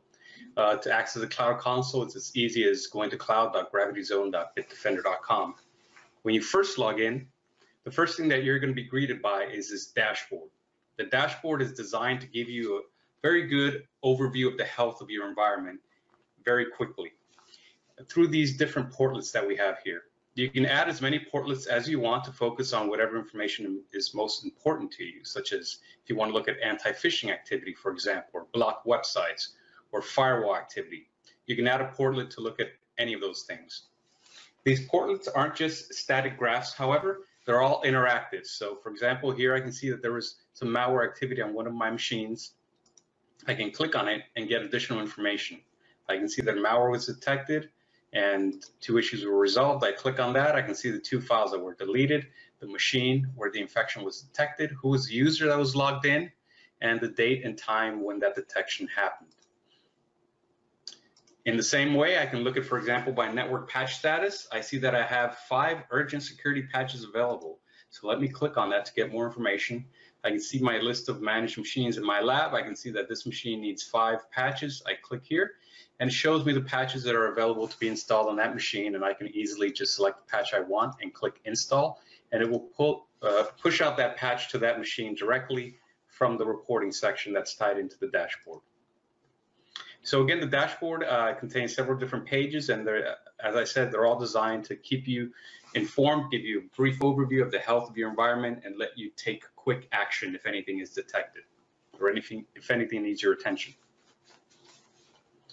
Now, the way that our product works, if you do go with our cloud solution, for example, you want to go ahead and the first thing you want to do is create packages. And the packages contain the different modules that you're choosing to install. now, depending on the license type that you have, you might see uh, different modules listed here. In my case, I have an Ultra license running here, which has basically all of our modules. So I can select which modules I want to install, everything from anti uh, advanced threat control to you know encryption, patch management, and something called relay and patch management cache server. What those two things are, basically the, way those two function, uh, and I'll explain it through the relay, is that you can designate any machine on your network, uh, preferably a machine that's always on, it could be either a Windows or Linux machine, to function as a relay or as a patch management cache server. And that machine will basically download all of the updates for Bitdefender if you're just using it as a relay, or for uh, updates for third-party products and Windows patches as well if you're using it as a patch management cache server. It'll store all those and then the rest of the machines on your network can then be pointed to that relay or to that patch management cache server to then uh, download the updates from that relay. Uh, and this way you're reducing the number of machines that are reaching out to the internet for updates and patches and things of that nature. And again, this is all optional. Uh, when you create your package, if you're running virtual machines, this is where you select your scan mode. So you can select to use centralized scanning, which uh, greatly reduces the, the performance impact on the virtual machines by offloading the heavier tasks to a security virtual appliance. So when you create this package, uh, you can select the scan mode to be custom scan, um, and then select central scan for those uh, virtual machines. That way they'll be talking back to that security virtual appliance. And then also have the fallback of running a local or a hybrid scan, which uses some cloud scanning as well, uh, as a fallback in case that security virtual appliance is not available for whatever reason. And here basically is where you select the server and uh, tell the, uh, the package to communicate with this security virtual appliance. We have your usual options such as scan before installation, setting uninstall password, etc. We usually recommend uh, removing scan before installation because that'll delay the installation and then running a full scan afterwards. Uh, but you have that option there. And then you connect to either the cloud uh, as a deployer or one of the relay devices you've set up. If you're running the cloud solution, what you want to do is download the package to at least one machine on your network. And once uh, you select the package and click the download links, you can see the different versions that we have here for Windows, Linux, and Mac and then you would install that uh, that uh, Bitdefender endpoint protection on one of the endpoints, and then use that endpoint to discover the rest of the machines on your network. In the on-premises solution is a little different. There's a, actually a section where you can um, automatically uh, connect to Active Directory and other uh, virtualization providers, do that integration, and then discover your machines that way. Another option that you have, if you have some users that are remote, that don't connect to your network very use, uh, very frequently, you can send them uh, links uh, with the installation package. And you can do this directly from the GravityZone uh, interface by just adding their email addresses and clicking send. Or you can copy the link uh, right from here and then add it to your own email and send it to the users that way. Now, uh, once you've installed the Bitdefender endpoint protection on at least one machine on your network, if you're using the cloud solution, uh, to discover the rest of the machines, there's a couple of things you can do. If you're using Active Directory, as I'm sure most of you are, you can designate a machine or that machine uh, that you just installed uh, the Bitdefender product on as the Active Directory integrator. And to do that, you would just click on the machine. Let me use this one as, as an example. You go to integrations, and then you would select set as Active Directory integrator. And when you do that, it'll pull the Active Directory OU and display the machines just like you have them in Active Directory. And then to deploy the Bitdefender solution to the rest of the machines, it's as easy as just selecting the machines, going to task, and selecting install. and that'll push out the Bitdefender security to the rest of the machines uh, or to the machines that you select on your network. In this particular case, I already have, uh, I'm only viewing managed machines here for the sake of this demo, and I already have Bitdefender installed on all of these. Uh, some of these are offline. Uh, this one with the orange icon requires a reboot, and this one's just uh, online. You can click into the machine to get additional information, uh, such as uh, you know the IP address and all of that, as well as the protection layers that you have enabled. Uh, as you can see here, I get a message that I need to reboot because of a patch install that I did recently. And I can see the, the scan engines and how I have configured. In this case, I have central scanning with hybrid scanning. And I can see that all the modules are enabled. I can see which policy is assigned to that machine, and I can view the scan logs directly from here if I want to. Now, once you have the Bitdefender endpoint protection installed on your machines, you, you're going to want to fine tune the settings through the policies. And uh, one thing that you can do with our solution is you can create uh, location-based rules for those policies. So a perfect example of this that uh, some of our customers use is they'll create a location-based rule that will uh, disable the Bitdefender firewall when the machines are connected to the corporate network because there's already a corporate firewall there that's configured and seems redundant.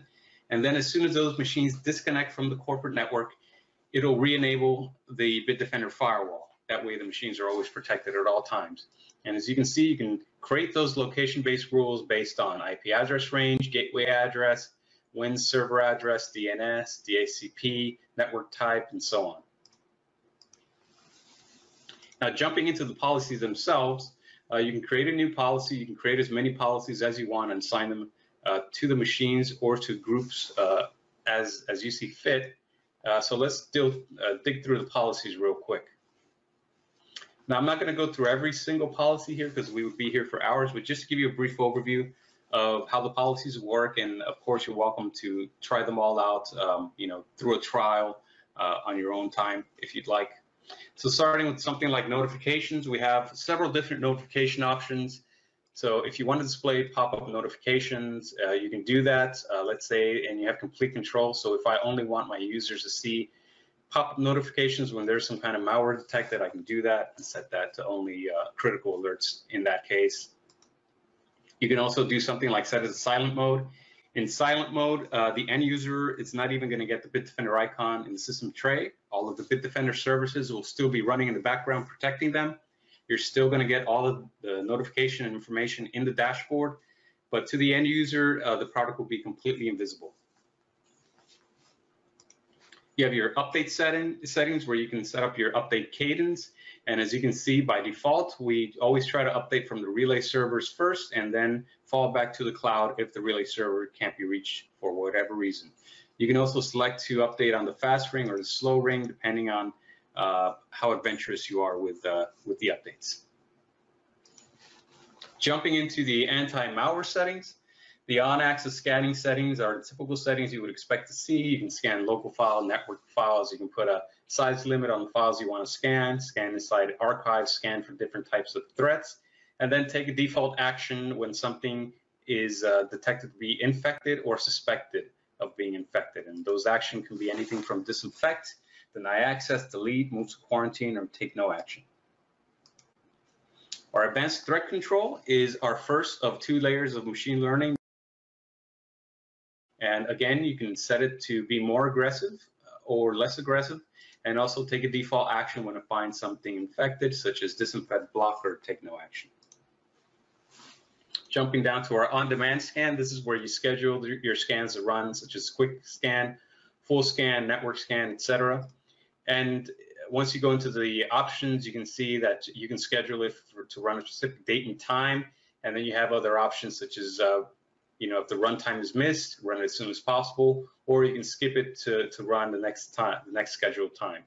And you have your normal options that, again, you would expect as far as what kind of files you want to scan, whether you want to scan inside archives and email archives, and what actions you want to take when something is found to be infected, suspected, or a rootkit. HyperDetect is our second layer of machine learning and it's completely tunable. So you can set it to how aggressive you want it to be based on the type of attack that you're most concerned with.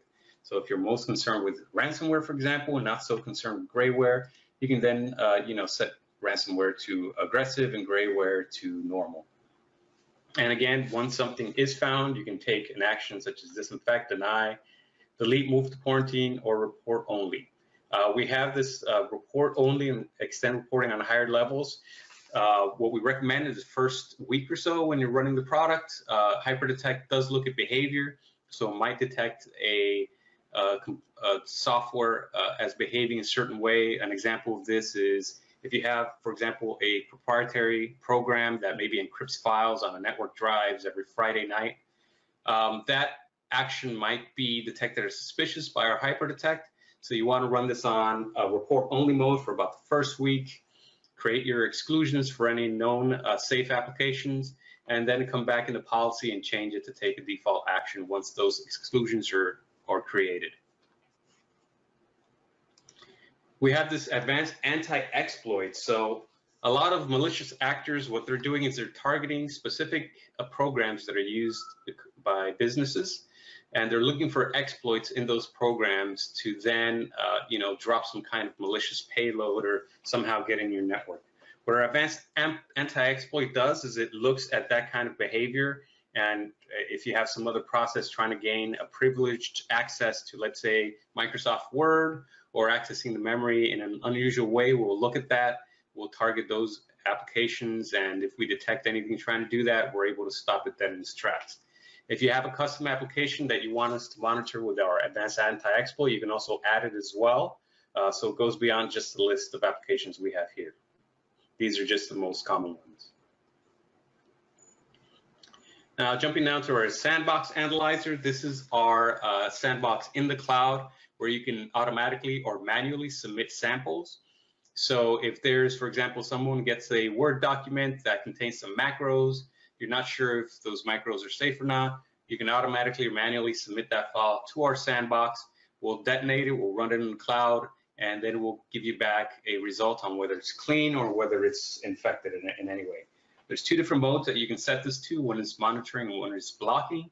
So if you have it set to monitoring, the user won't have access to the file. In this example, let's say the Word file, they're not going to be able to access it. Um, if you have it in blocking mode, if you have it in monitoring mode, they will be able to access it. Um, in blocking mode, um, the file will be blocked until it comes back with a clean diagnostic, uh, clean result. And again, you can take a default action if something is found to be infected. And here you can see the different types of uh, content that we're able to uh, detonate in our sandbox. Our firewall is your standard uh, firewall that replaces Windows. You can set up different network rules as well as application rules and connection rules, um, you know, to block certain applications or allow certain applications through specific uh, firewall ports. Pretty straightforward. Our content control is where our anti-phishing modules sit. Uh, we can scan SSL traffic. If you use POP3 and SMTP email, we can scan that as well. Uh, our web section is where our anti-phishing engine sits. Uh, and then we have our web access control. Uh, if you have a lot of uh, uh, you know computers that may be face to public, or you want to take more control over what uh, access your users have as far as surfing the web, you can do that with our solution. I can block internet access uh, during specific times and days, for example. And then we also have our web categories filter.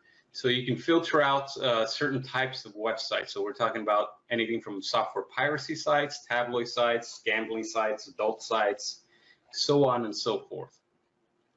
You can also create exclusions. So if, for example, you want to block all social media sites except Twitter, you can do that and create an exclusion for Twitter. Or if you want to block specific sites, you can also add them as well.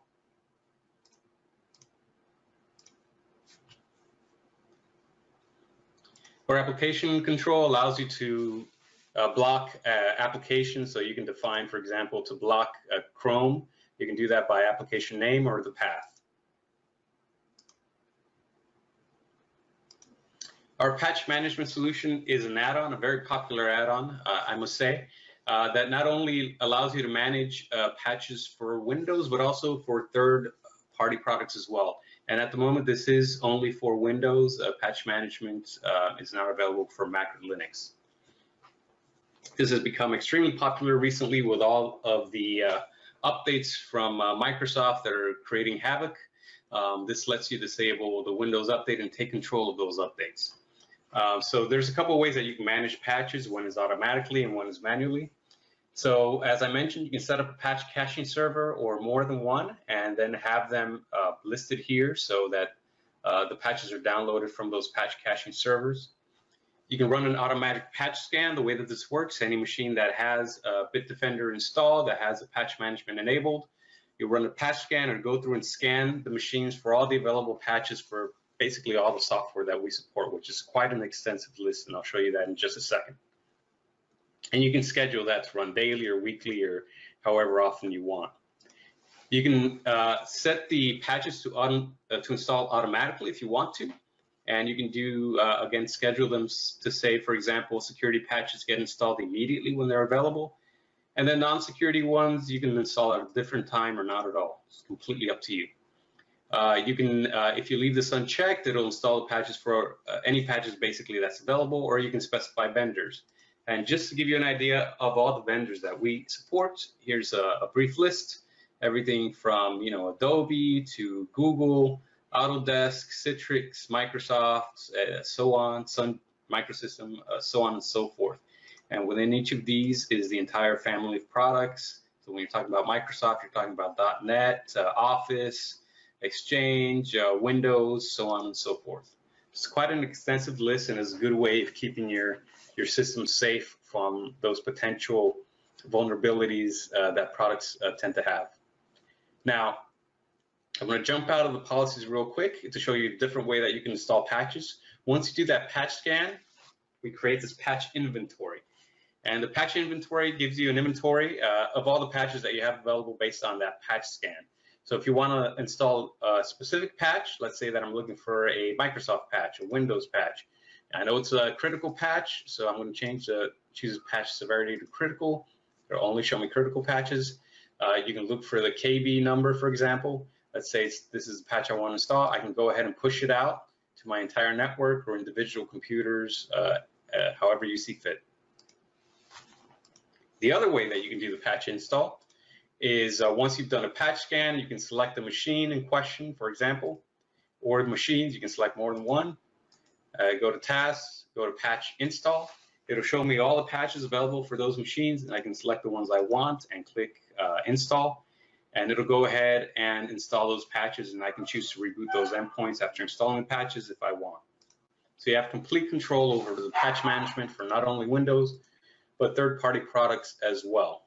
So let me jump back into the policies.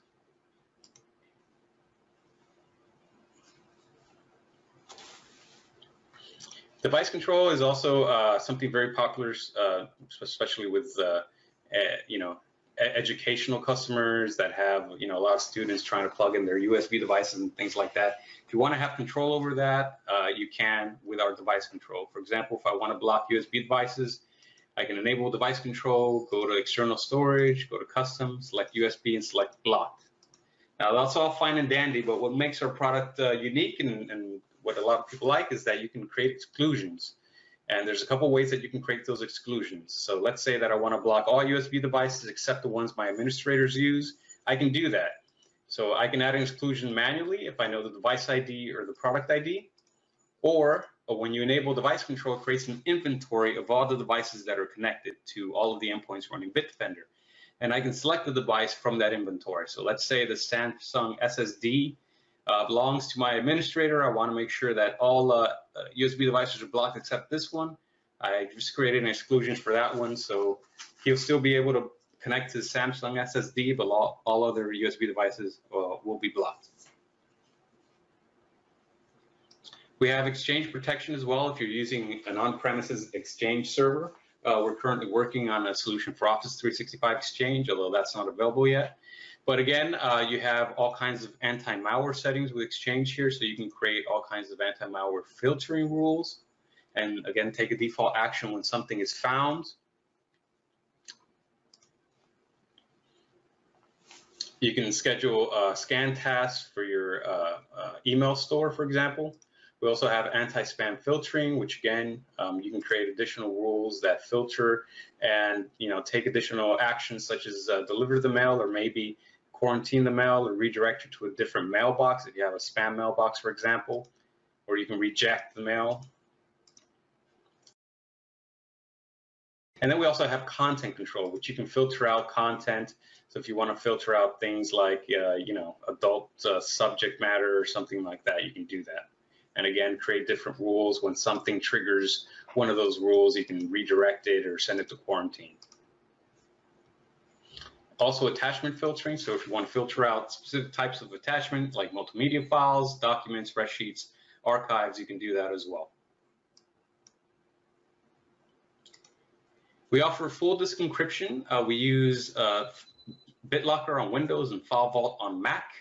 And uh, you can enable or disable it directly through the console. And an advantage of, of using our console for your encryption solution instead of enabling it on each workstation is that we manage the encryption keys here, so you can easily get the the user back up and running. So, for example, uh, let me see if I have any drives encrypted. Might not, because I just rebuilt my lab. Okay, unencrypted. Let's see this one. Uh, okay, so I don't have any drives encrypted right now, but if I did, um, you can get it. You would get a link here that says recovery. You click it, you put in your password, and it'll give you the recovery key so you can get the user back up and running uh, quickly. Uh, we introduced something called risk management with the last update. And this is a task that you run that uh, basically looks at all your security policies uh, on the endpoints that have Bitdefender installed and tells you um, whether you, those endpoints are a security risk at all. I mean, we give you uh, different ratings for different types of, of risks. So um, the ones in bright red are the most um, uh, uh, severe. Uh, and then we give you this uh, risk score as well. So if I click detail here, this will tell me what risks were identified. Some of them can be automatically resolved directly from the GravityZone console, and I can see those here. I can click on resolve all or resolve them individually and you can it'll automatically send a task to do whatever configuration changes needed to resolve that risk. And then there are some that have to take uh, manual action on. And here you can see you select the risk it'll give you a description of the risk and why it's risk as well as the mitigation recommendations that we uh, give you on that specific risk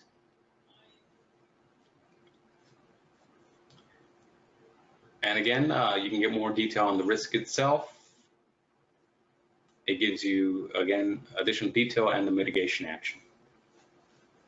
So this is new and something that we'll be continuing to improve uh, as we go along. Our reporting is very robust. Uh, as I mentioned before, in the dashboard section, you can run all kinds of reports on anything you want. So if I want to look at the malware status, uh, you can schedule it. So if you want to get a malware status report every day, or every week on all your computers or only specific computers, you can do that.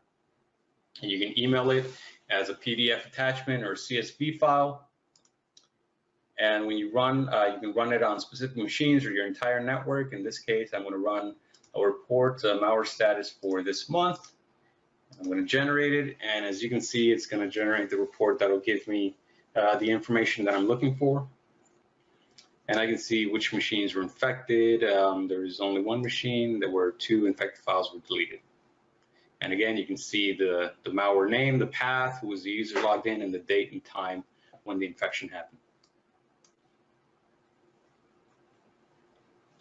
You can create additional accounts. So if you have more than one user uh, that you want to set up as, as, an administrator, you can do that and give them additional rights uh, to the GravityZone console such as manage users, uh, view and analyze data, etc. And you can also view their activities. So if you want to see, uh, pick a company, if you want to see what they've been doing, um, you get a log of, of what those administrators are doing. Takes a few seconds.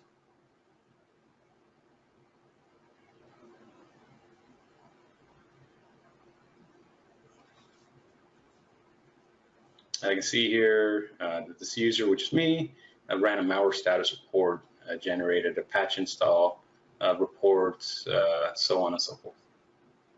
We have our sandbox analyzer that I mentioned. Uh, you can do a manual submission to the sandbox.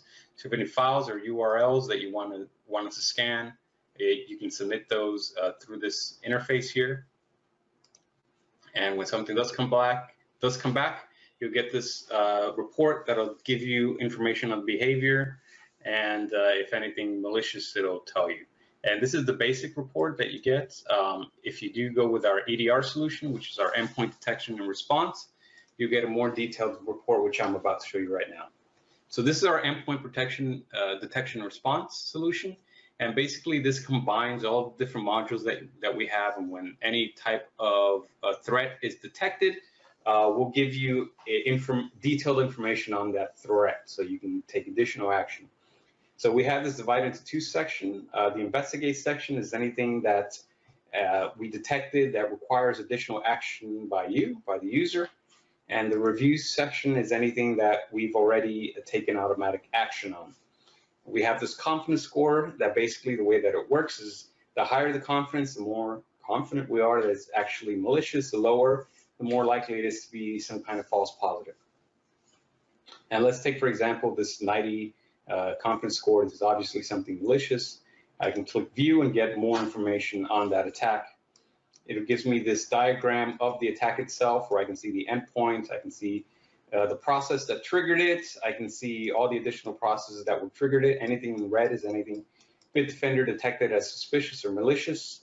In this particular case, we automatically took action on it, but if we hadn't, you can take additional action directly from uh, this EDR uh, window. I can kill it, I can send it to quarantine. If it's a false positive, I can add an, an exception directly from here or I can add it to the block list. Uh, I can also take action on the endpoint itself. I can select it and isolate it from the network to make sure that whatever it got on there doesn't uh, spread to the rest of my network. Or if I saw that, for example, it got infe infected through a Google Chrome vulnerability, I can install a patch directly from here.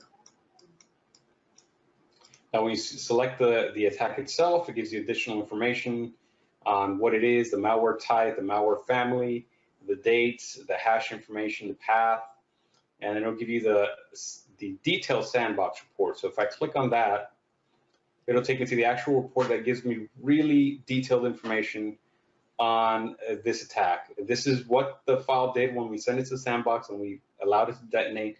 Uh, this will give you an idea of what that file would have done had it infected uh, your network. Uh, this is good information uh, for uh, SOC, for example, uh, security specialist to have, or if you have a machine that got infected with this that doesn't have Bitdefender and you want to know what that uh, virus does, you get all this information. So you can see all the files that were detected associated with that uh, malware.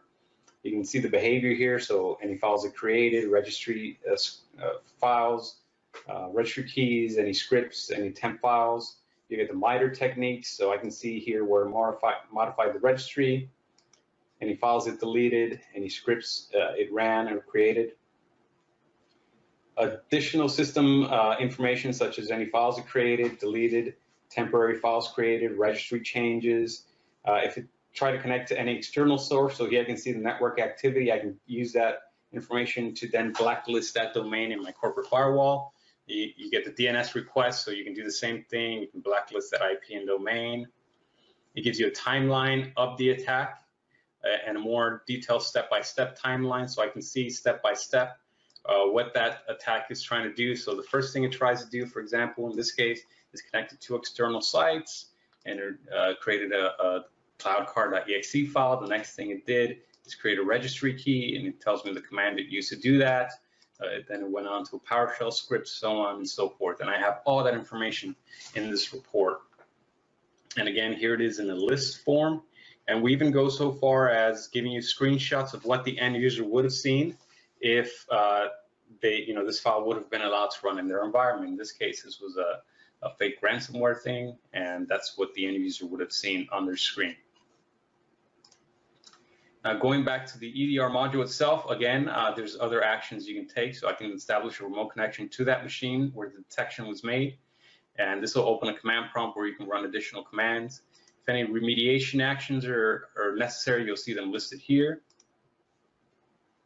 And that's, that's pretty much it. Now, with our product, you can also make sure that you keep yourself informed by setting up notifications. So we have this notification pane here. Uh, you can email yourself all kinds of notifications on malware outbreaks, license expirations, upgrade status, HyperDetect activity, anti-phishing activity, so on and so forth.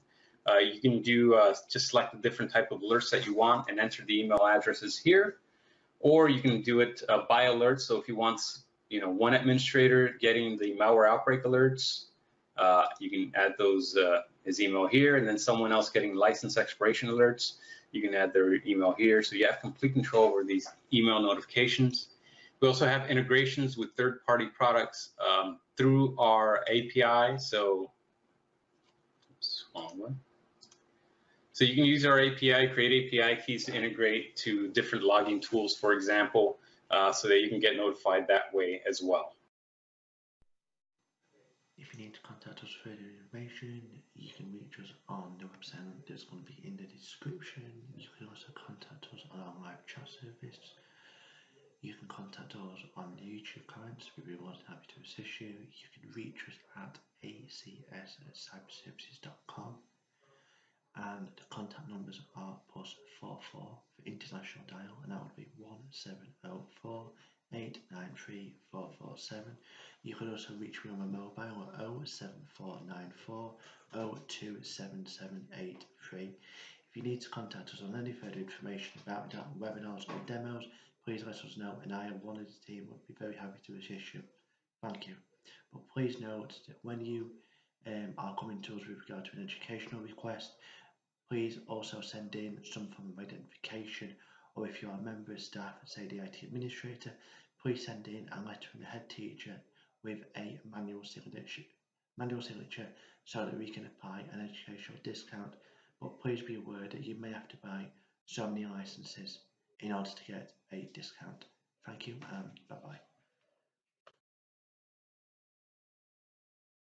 Hey folks, it's Mike from Cymulate, and we're going to do a quick run through about how to set up and review an assessment within the Cymulate platform. Uh, so we'll do the email gateway, and if I navigate to assessment, what you'll see is that our assessments follow a pretty straightforward setup methodology. What, where, and when. What is defined by a template. Templates are playbooks or runbooks, and there's always several that are included out of the box with the Cymulate platform. They're kept updated by our team. Uh, but your team may create new templates and customize to focus in on a particular area anytime you want. If we go with the default, we're going to be looking at everything from file acceptance policy to link rewriting to uh, different types of malicious attachment detection. You'll then select where you want to do the simulation. In this case, you're going to aim at an email address because we're testing an email vector. You may also aim at an agent, usually just one agent per environment if we're doing something that requires uh, interacting with a device instead of an email address, or a URL if you're doing a WAF simulation, web app firewall. Once you've defined that, you're going to define when and how often this simulation will take place. And simulations or assessments can be scheduled to be one-time events uh, if you want to spot check something or if a new system is about to go live and you want to do a quick check before it launches. Or you could set up daily, weekly, or monthly scheduled simulations. Those are going to allow you to keep a constant watch on the security controls in your environment so that you can react to any changes uh, in the cybersecurity world or in the applications and platforms themselves. Then you'll hit launch and the system will take it from there. And in a few seconds, we'll actually see uh, that the email gateway vector is starting a new assessment and we'll start getting a percentage run, as you can see here, count up to 100% and the completion of the simulation. Now, of course, on the back end of this, we have reporting and reporting is available uh, for any simulations that have been done. And we can jump into any one of these and have a look and see how the system performed across multiple areas of testing. Uh, from dummies, which are files that uh, would be files that would be executable, uh, but otherwise not malicious. So we're looking at a particular type of policy there, to scenarios which would be easily identifiable as malicious if they're sandbox or go through CDR type systems within an email system to links and even email policy, all of which can also be viewed offline in technical and executive reporting. So if you want to see more about what the system can do or get a full demonstration, reach out to the Cymulate sales team. We'll be happy to set that up for you. Or look for the full demonstration video that you can find from any of the Cymulate social media or online platforms. Thanks a lot.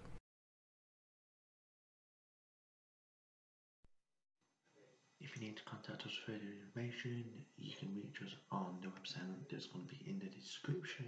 You can also contact us on our live chat service. You can contact us on the YouTube comments. We'd be more than happy to assist you. You can reach us at acs at cyberservices.com and the contact numbers are plus 44 for international dial and that would be 1704 893 447. You could also reach me on my mobile at 07494 027783. You need to contact us on any further information about webinars or demos, please let us know and I and one of the team would be very happy to assist you. Thank you.